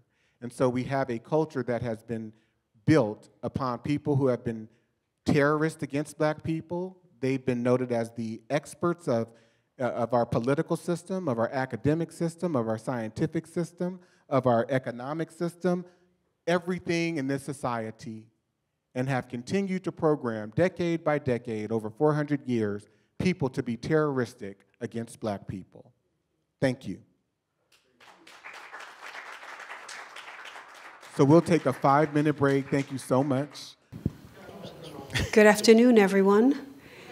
Thank you so much for staying for this portion of the presentation today. It is with great pleasure that I remind us all that we are blessed with the company of Dante King this afternoon. He's already given so much to us in this earlier part of the day. I can assure you that he's exhausted, but at the same time, still has much more stamina for this portion. So I want to ask you all to be patient with us as we kind of acclimate to this portion as well. I am Marguerite Malloy. I am a friend of Dante's. I consider myself to be a kindred spirit. He blessed me with the opportunity to work with him and edit his book. And it is with great pleasure that I have the opportunity to ask him some questions today.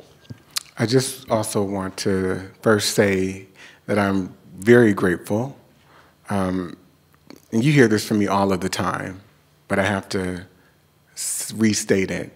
I am so grateful that you were put in my life and put in my path. We are kindred spirits, and she, I've, I've adopted her as, a, as my sister. She's a brilliant lawyer and one of the quickest and most precise people I have ever met, and I just adore you. So thank you for agreeing to do this. Thank you, thank you. And I won't say that I'm old school because I have them written down, but I took the time to make sure that I articulated what I wanted to ask. Um, I'm sure it will be a bit more free flowing than that, but I will be reading my intros to my questions as well. So, Dante, I'm going to start without holding any punches. I'm going to make sure that we all know that we're here to truly hear how you feel, as if we hadn't already. We're going to make sure we truly hear how you feel. But um, quoting from the Legal Defense Fund, critical race theory, sometimes called CRT, is an academic and legal framework that denotes that systematic racism or the systemization of racism is part of American society.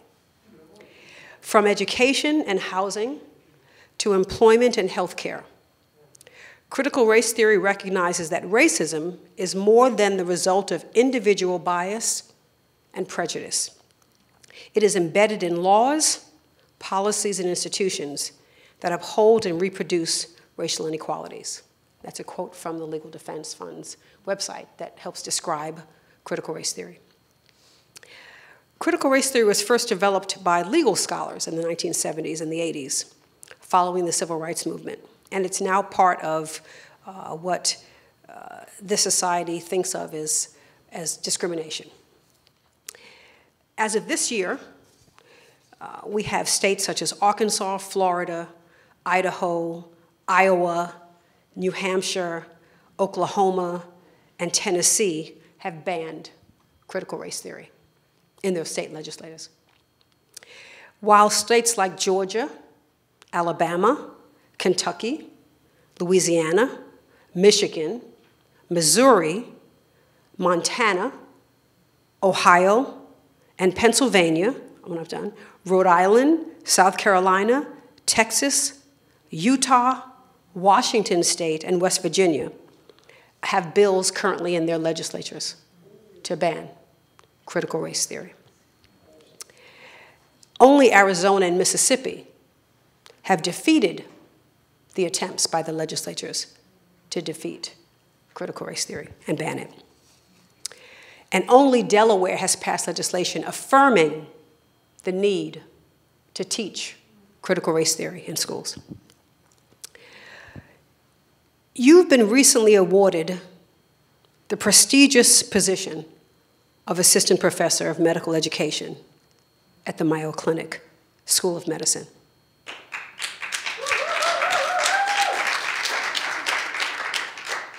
What would you recommend to others who understand the importance of critical race theory? What do you recommend they do to promote the inclusion of theories such as critical race theory into educational settings? It's a big question. So I, I would argue actually that the initial critical race theorists were these white men who developed these philosophies that were used to position white people as superior in that you know when people like dr william bell came along in the 70s and others um, dr john Henrik Clarke. um, they were then coming or emerging with theories in a context that explained away the, uh, the way that anti-blackness, anti-black racism, and, and black inferiority were used as tools to establish the society. I mean, they um, es- essentially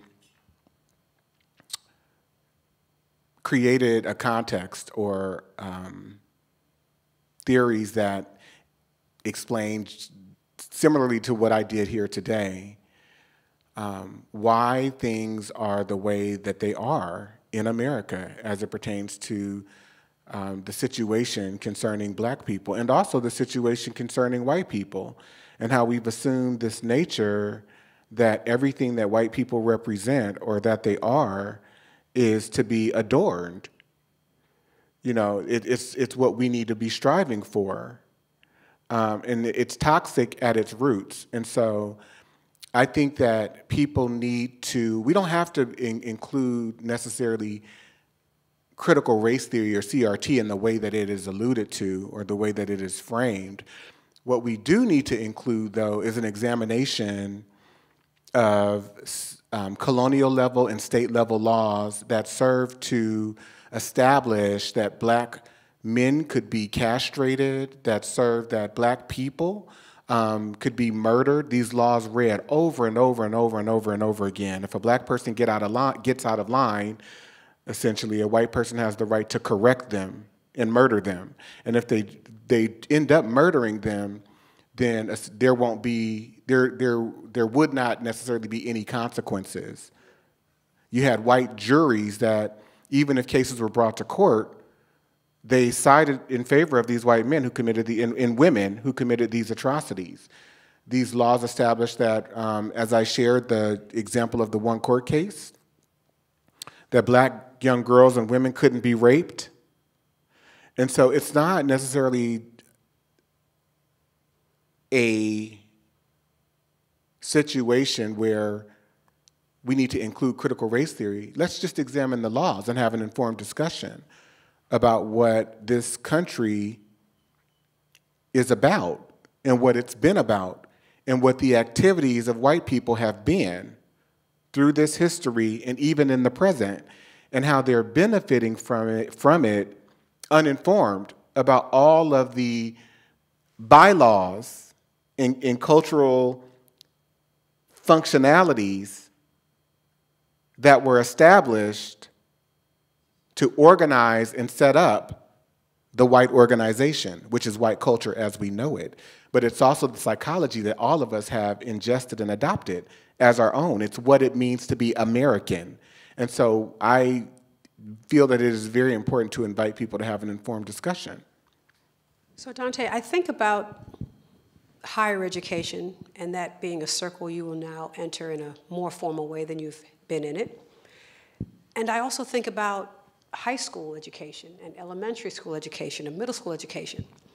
And in many instances, as we can all probably remember, if you remember anything from high school science or history, it's probably two or three things, right? You know, when the revolution was or who was president. We don't hold a lot, and we don't have expectations of teachers and faculty in those environments to bring the level of analysis and information that you have to those rooms. So, how do we think about bringing this information down to the level of the first grader or the sixth grader or the 12th grader? How do we do that in a room that's perhaps not a history class, that's perhaps not a social science class or sociology class or anthropology class, but it's a math class and it's an art class. And if they're lucky, they still have sports, uh, if, they're lucky. So, how can we think about helping to make sure that the information rests with our young people earlier, that we are not who this society created us to, to think we are. Mm-hmm. So I think it requires a level of detail and analysis as well as creativity so that people can become or use their creativity to establish curriculums and exercises that incorporates some of this, this history.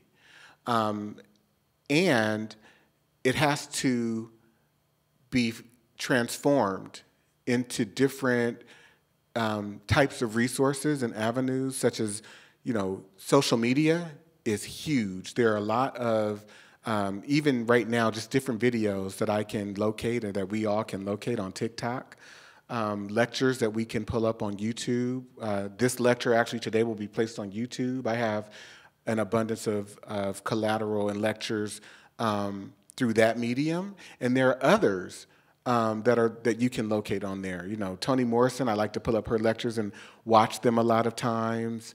James Baldwin interviews with um, Malcolm X, um, Dr. Poussaint, who I referenced in, in my work. But we we have to be willing to commit to sitting still long enough to be able to learn. And, and also, you know, I found um, the majority of my information in books, in a lot of books. Books. Wait, wait, books? Actual paper? Books, articles, um, and, and papers that, that people have, have written, you know, who in some cases even take an angle that's juxtaposed to mine. And yet I sit here very affirmed in not only my analysis of the situation, but the conclusions.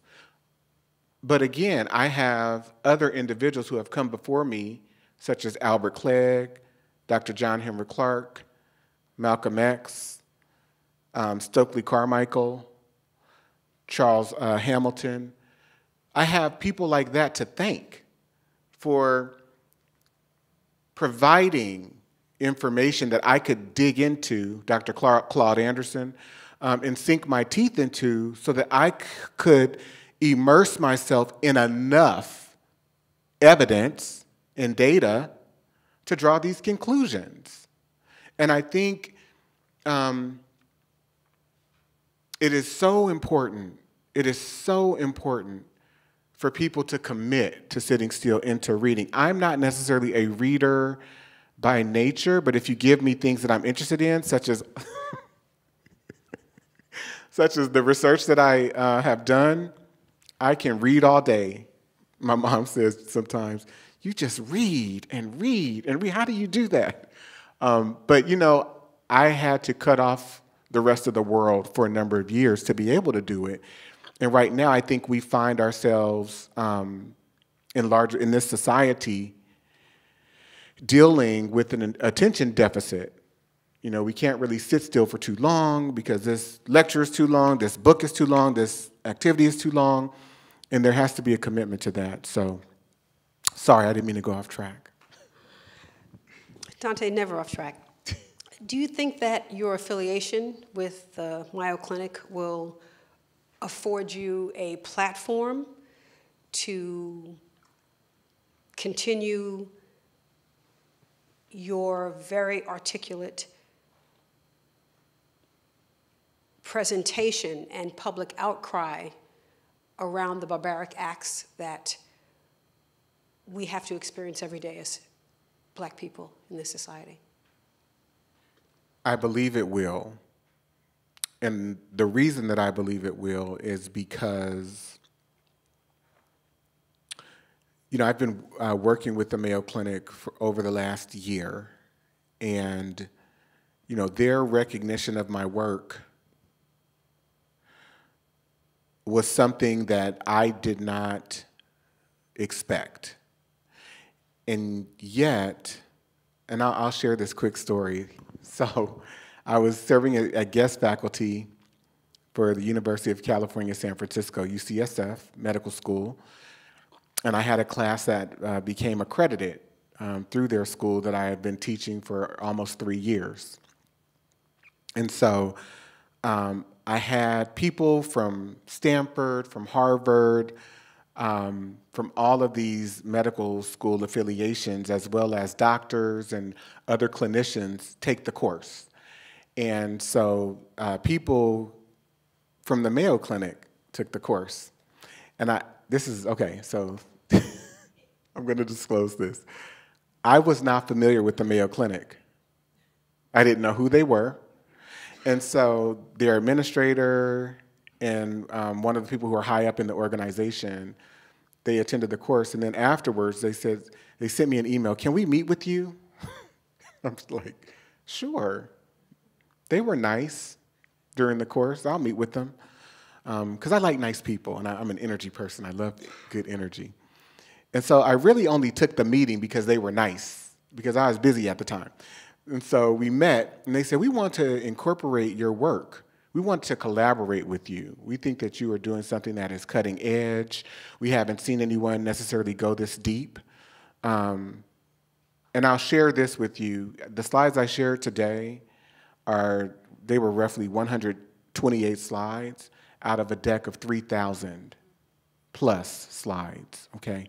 So they said, we haven't seen anything like this uh, previously. Want to collaborate? And I'm like, sure. So you're going to send me maybe a proposal for a contract. I can come in, do training. They say, we're, we're thinking something larger than that. So I get off the phone. I start calling um, a few of my friends who are doctors and clinicians. And I said, oh, I have a, this to do, this to do, this to do. And I've got to respond to this um, proposal that I was given in this meeting with the, the Mayo Clinic. And you should have heard my friends. They were like, the Mayo Clinic? Are you serious? And I'm like, yeah. And they said, Do you know who they are? And I'm like, Who are they? I had to Google who they were. Thank goodness for Google. So, one of my friends, she's a doctor of nursing at Alabama, um, at Oakwood University, actually in Alabama, Dr. Dorothy Ford. She says, Think of Kaiser. Kaiser is D list, the Mayo Clinic is A list. And so, um, because of my affiliation with the Mayo Clinic, I've had so many people reaching out to me um, doctors that I don't know, um, educational professionals that I, I, am not affiliated with.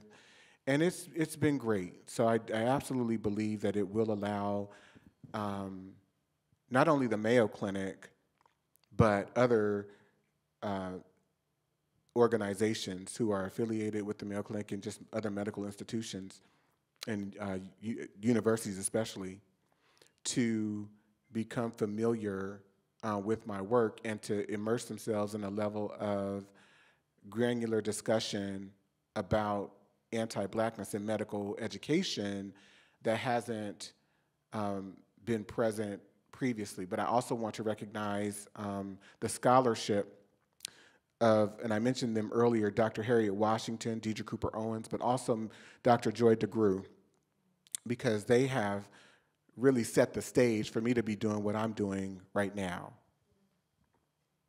Thank you. As you know, the 1619 Project by Nikole Hannah-Jones has been attacked as an inaccurate rendering of history. Hannah-Jones has said that the history we learn and teach is shaped by the people who decide what's important and what's not.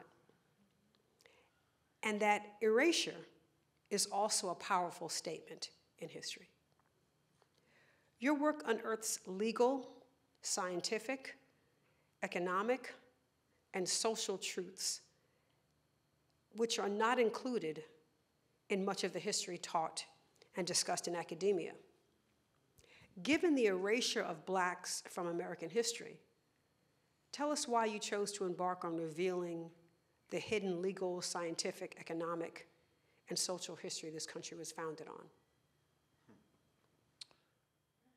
So I didn't start off wanting to do that. That was it wasn't even um, a goal of mine. I just started off being curious and reading a lot of books.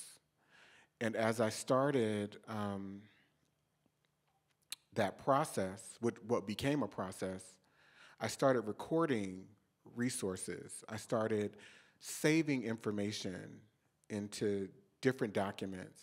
And then one day I pulled up a PowerPoint. I was like, I've got to put names and faces with these people. I've got to put names and faces in, in books and references and resources with this information that I'm learning. And I started doing it because I was emotionally compelled to, I could not believe what I was reading. I could not believe what I was seeing. And it was painful. There were days I would just cry. I, I, would, I had to stay in bed.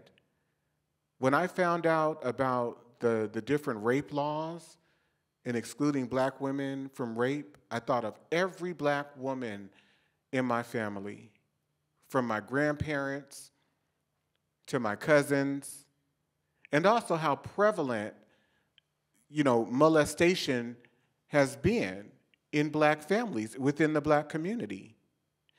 And it made me sick. I could not stop myself from crying. I had to walk away from my research for almost six months. I, ju- I just could not believe it.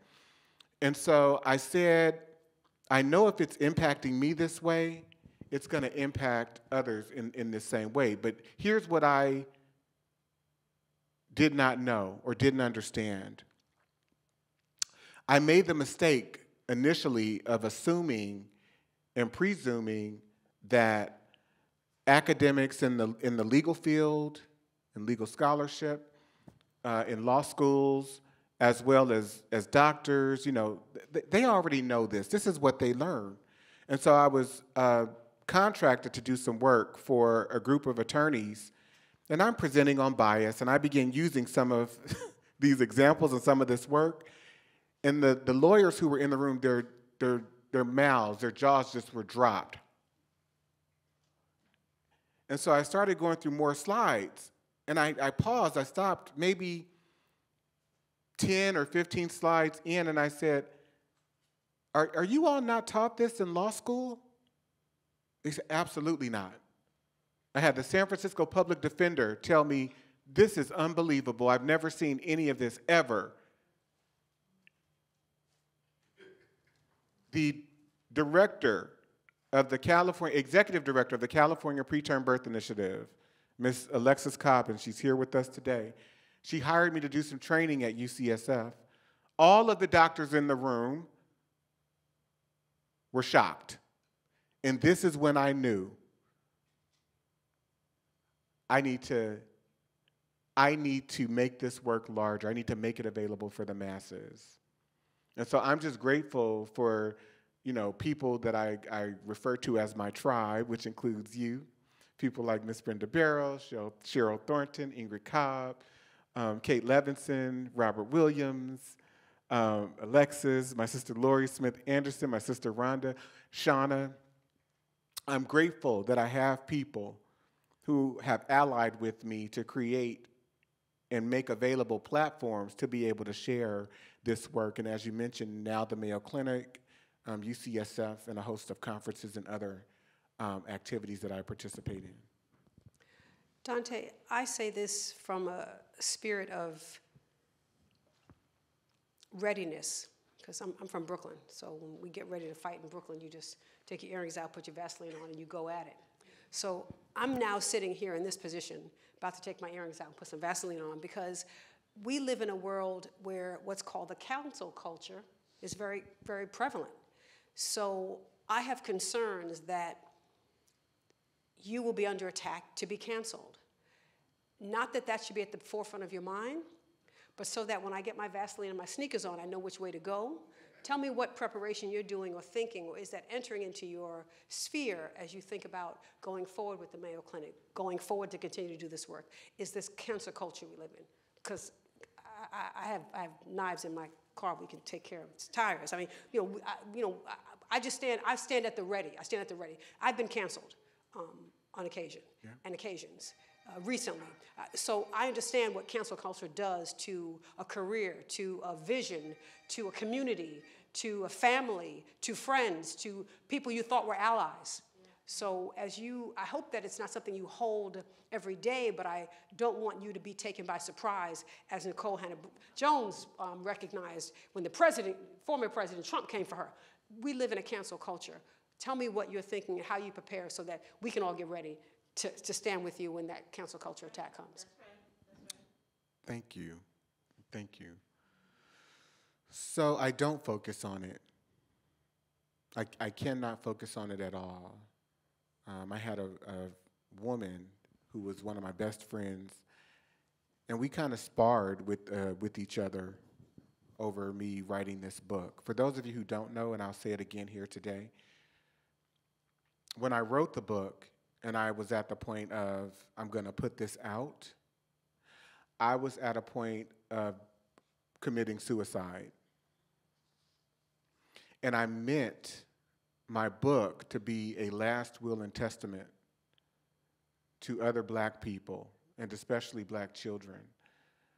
Um, because it is, as much as it is meant or, or should serve as a level of instruction in terms of how to understand these psychodynamics of white supremacy and anti-blackness, it's also instruction to black people. It's also, it should also serve as a tool of validation that it is not you that, it, that is inferior. It is not you that has something wrong with you. It is the context that you're in that is destructive, that is not meant for your good. It is meant for your destruction. And so you need to, to validate yourself, all of your family members. There's not one condition that has been arranged or set up in this society that black people are responsible for. Not one. Not Pookie going to jail because he robbed the bank, or Quita prostituting herself.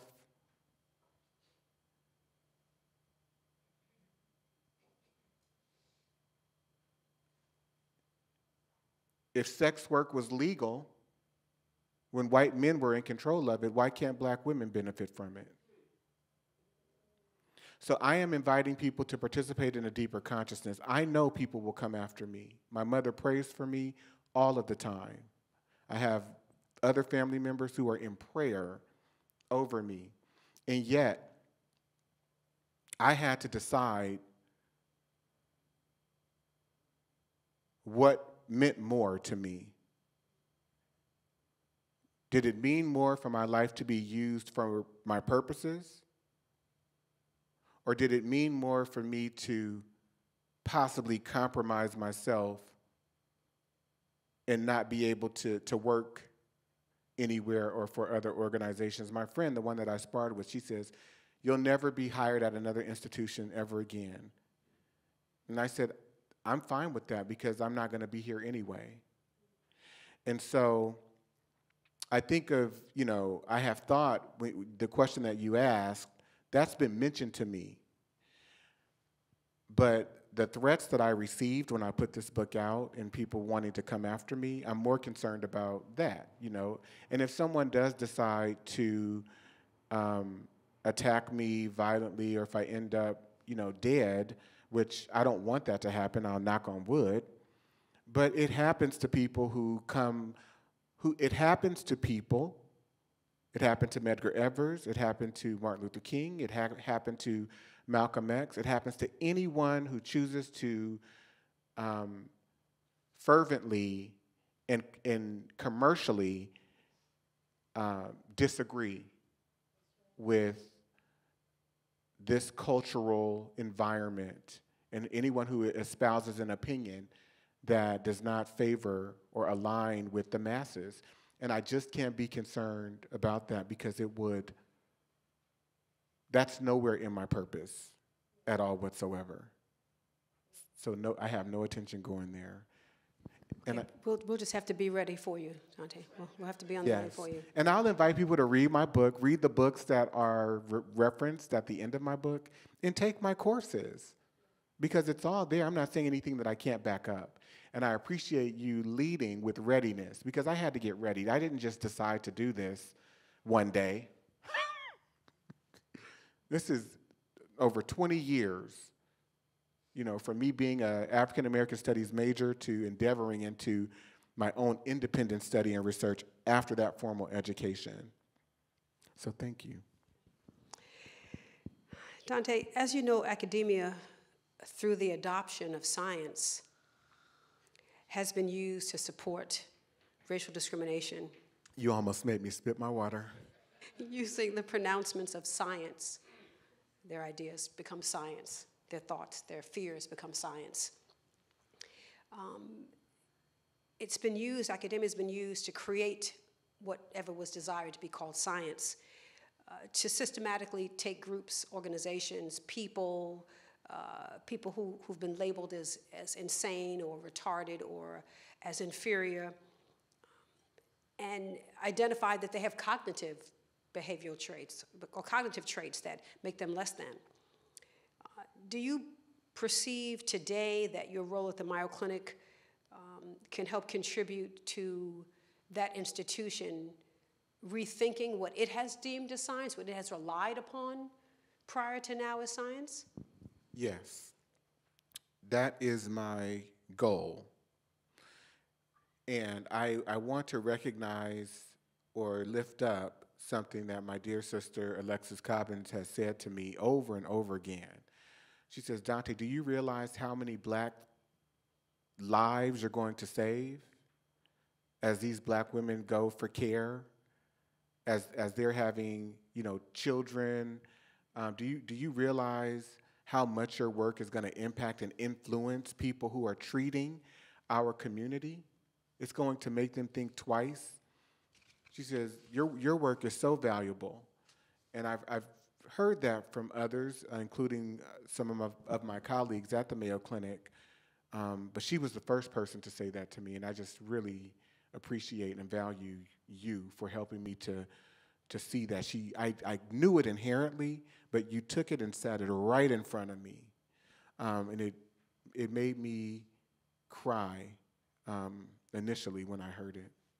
So thank you. We're hopeful that that's what your role will do also there. And I'm actually hopeful that your engagement and your relationship with them will span a very long time because I think it takes a very long time to penetrate the institutions that exist because they don't they're not designed to be penetrated. They're designed to go along to get along. So I'm hoping your affiliation is long so that you can do the work that needs to be done because it can't be done with a course. It's mm-hmm. going to be done when you become the president of the Mayo Clinic. Mm-hmm few years. Okay. And I, I just want to lift up, even as I've been going through this journey with my mom, with her recovery, you know, I've, I've had doctors indicate that we have higher pain thresholds, um, we have um, higher bone density. They didn't want to give my mom medicine. They held out on a particular medicine um, because she looked strong. She looked strong. And that's dangerous because there are people who, who will be violent, who will commit violence over that type of mismanagement and mistreatment. You know, I was looking and I told my brother, I said, I understand, not that I am uh, advocating for this or even encouraging it, but I understand how people go violent or postal in, in some of these situations because it is mismanagement and negligence at its core in dealing with care concerning black people. My father, who is here today, Harold King, um, he experienced something in 2021, and I was on my way to the hospital to get him. He was incoherent. He had been pumped with all of this medication. And when I arrived at the Kaiser in Oakland, he was sitting outside in a chair by himself alone with his shirt unbuttoned. I almost hit the sky. I could not believe it. I just, I, I, could do nothing but cry. I was so angry.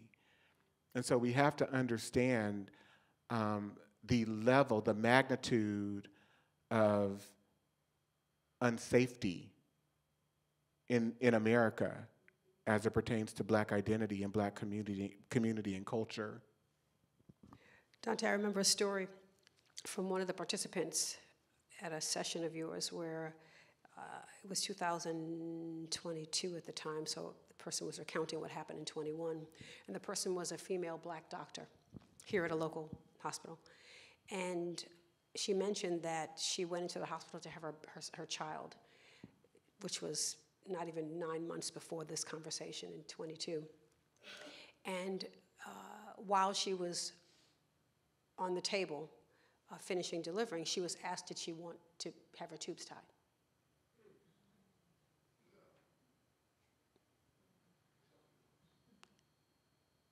I think all of us can appreciate that not one white woman in America has been asked after she gave birth, was she interested in having her tubes tied?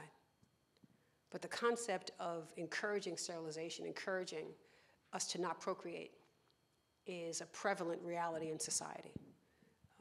If a young woman is pregnant, a black woman, it's perceived that this child is unwanted, this child was an accident, this child's not going to be cared for, this child's not going to be raised in a two parent household. This, married couples are perceived to be people who should not be having children. I mean, so the, the reality for what we experience today in medicine, uh, your father, your mother, uh, this, this sister doctor, it's, it's 2023.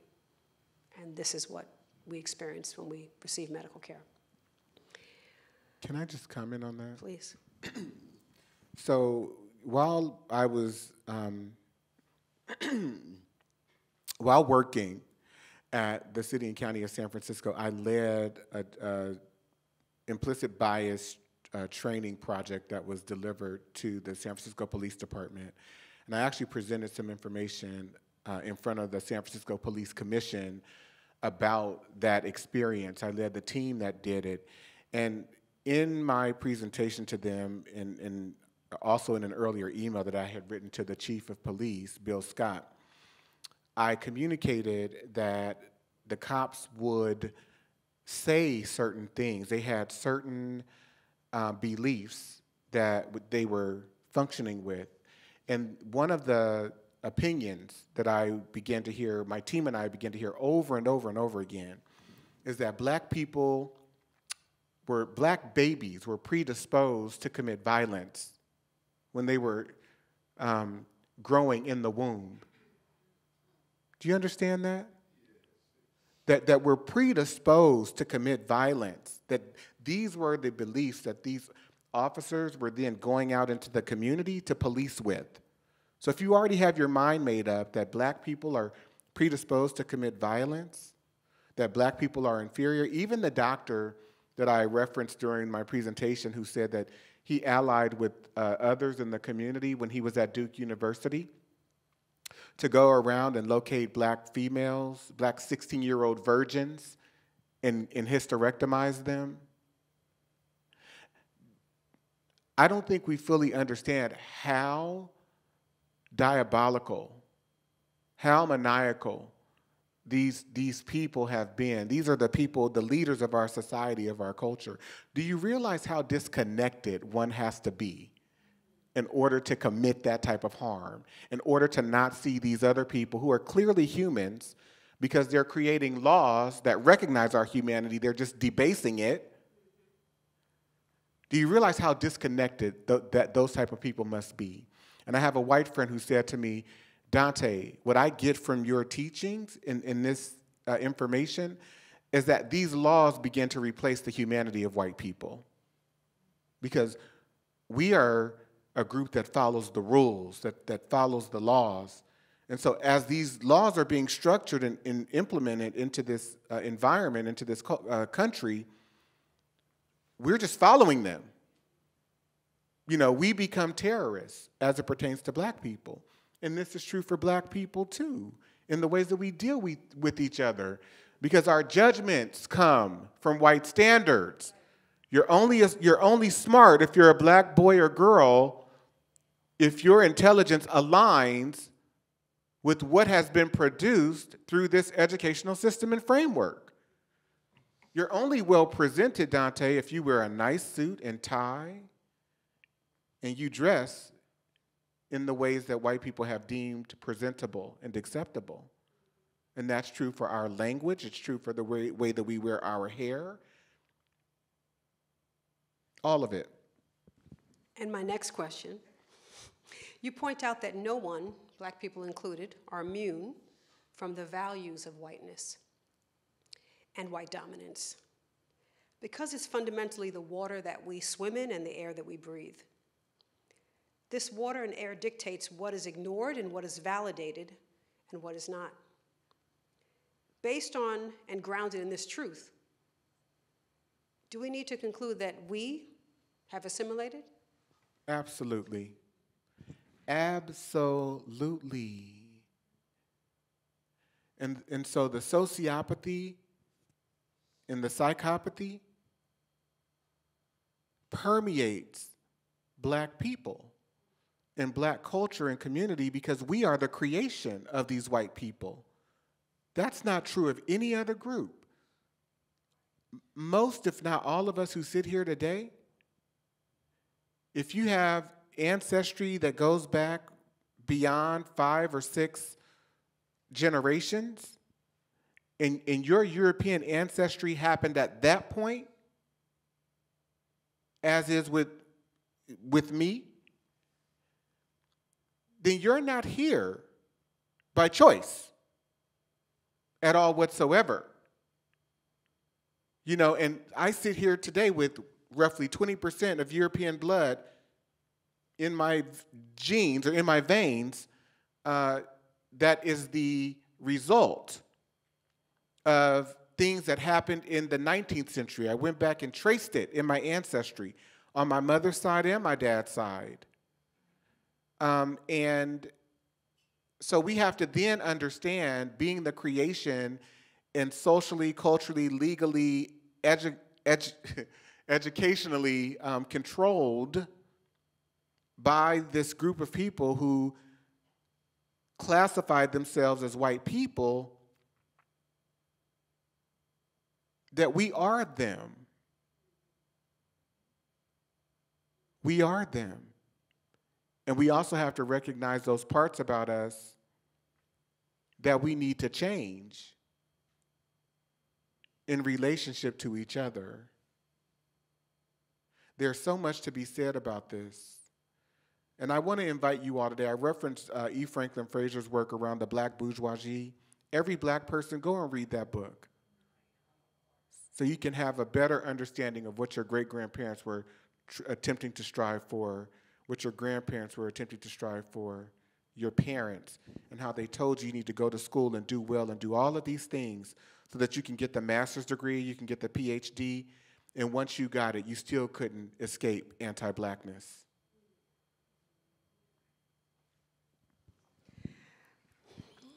Your last statement reminds me of something, Dante. My um, son, who's going to graduate from grad school in June, said, um, Mom, you did me a disservice because you and Dad spent all this time teaching me about white, the whiteness of the world we live in and how black people are see, seen, perceived, et cetera. He said, You did me a disservice because now I understand that it's not going to change. No matter what, you know, whatever I do, it's not going to change.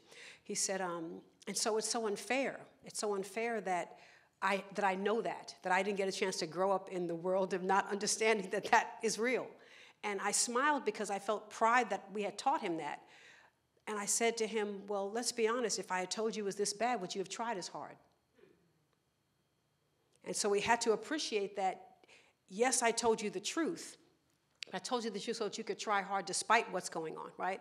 Rather, rather than being concerned about ever succeeding, but knowing that you are a success from the moment you take a breath, regardless of what the people around you say and do, because they will never allow you to feel successful, right? Um, so that personal story to the side, Dante. Um, um, you know, we hear a lot the phrase that black folk pull the race card. We play the race card. What's your response to the concept that black folk play the race card? It was given to us to play.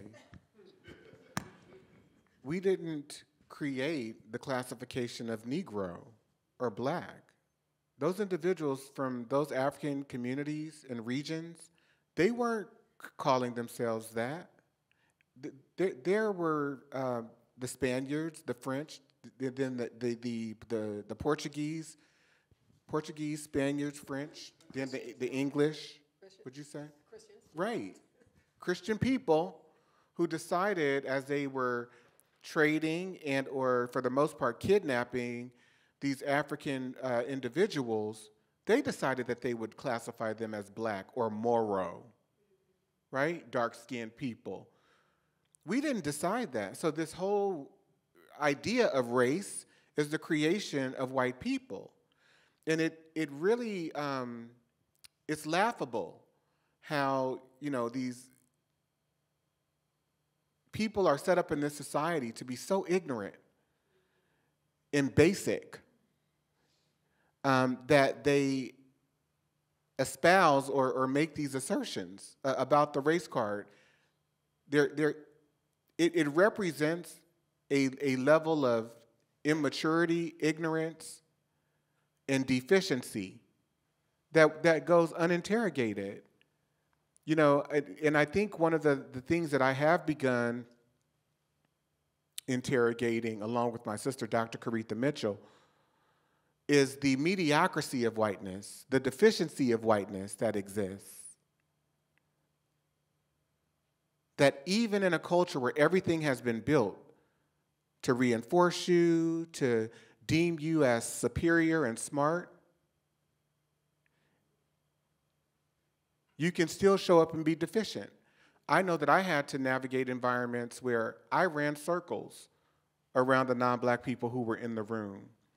And they would compliment me. They would say, Wow, Dante, how are you able to get so much done? You are just amazing.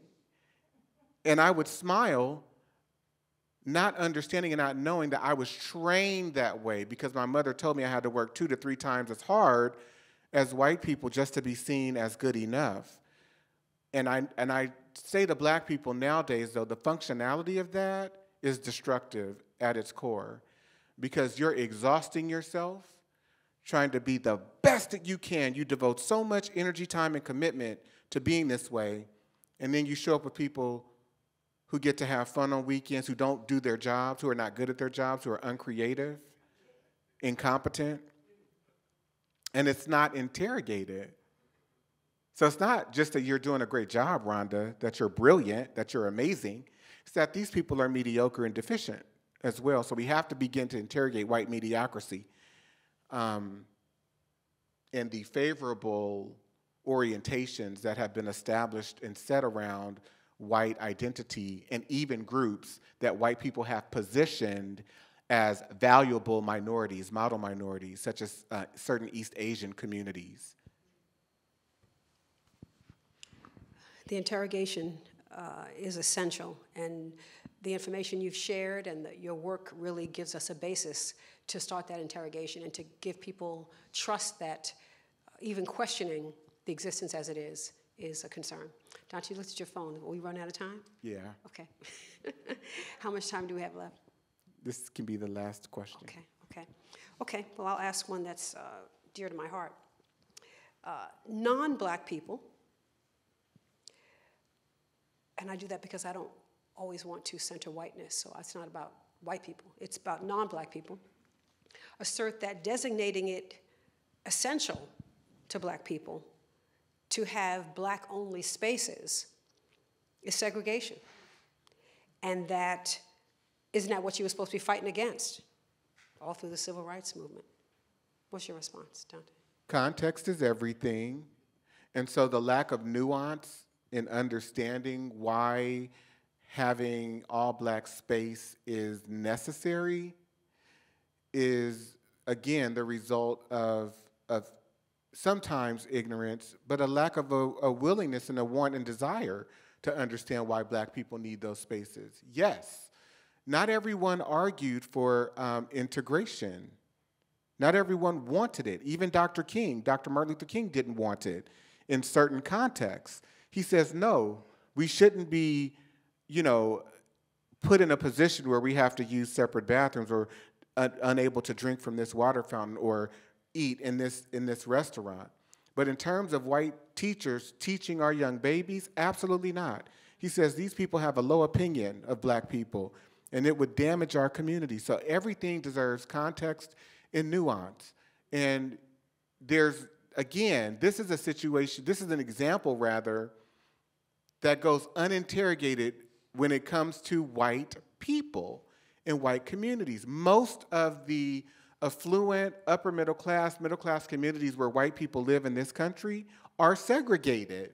So it's okay if they have their communities, we're not welcomed into it, but it's problematic when black people do it, and that represents the core of what I am discussing in my book around anti blackness. Even someone I was talking to my friend who has a black son, and she said, My son said to me the other day that he does not, he wants to date Mexican girls. He does not want to date black women. And when I asked him why, she's black. When I, she says, when I asked him why, he said, black women are too loud. Everybody is loud or can be loud at, at a point in time. But I, I said to her, I said, he's using that as a justification. Loudness is not, there's not a problem with loudness at its core if Tim and Bobby and his, his friends that he plays video games with are being loud. It may, it may not even be a problem if white women or Mexican women are being loud, but black women? There's an anti black sentiment. And she said to him, Well, mommy's not loud. I said, You shouldn't have even dignified that. So he said to her, Yes, you are. Well, you laugh loud. I said, Wow, now it's the laugh. Right? Next is the hair, the cheekbones. It's, it's unfavorable. You can be doing the same thing that others are doing, and it's just seen differently on you. That is a sickness. Okay, thank you. Thank you. Ladies and gentlemen, let's give them a round of applause and thank you all so much for being here today. And thank you, Dante, for sharing your wisdom, your heart, your spirit, and your purpose with us.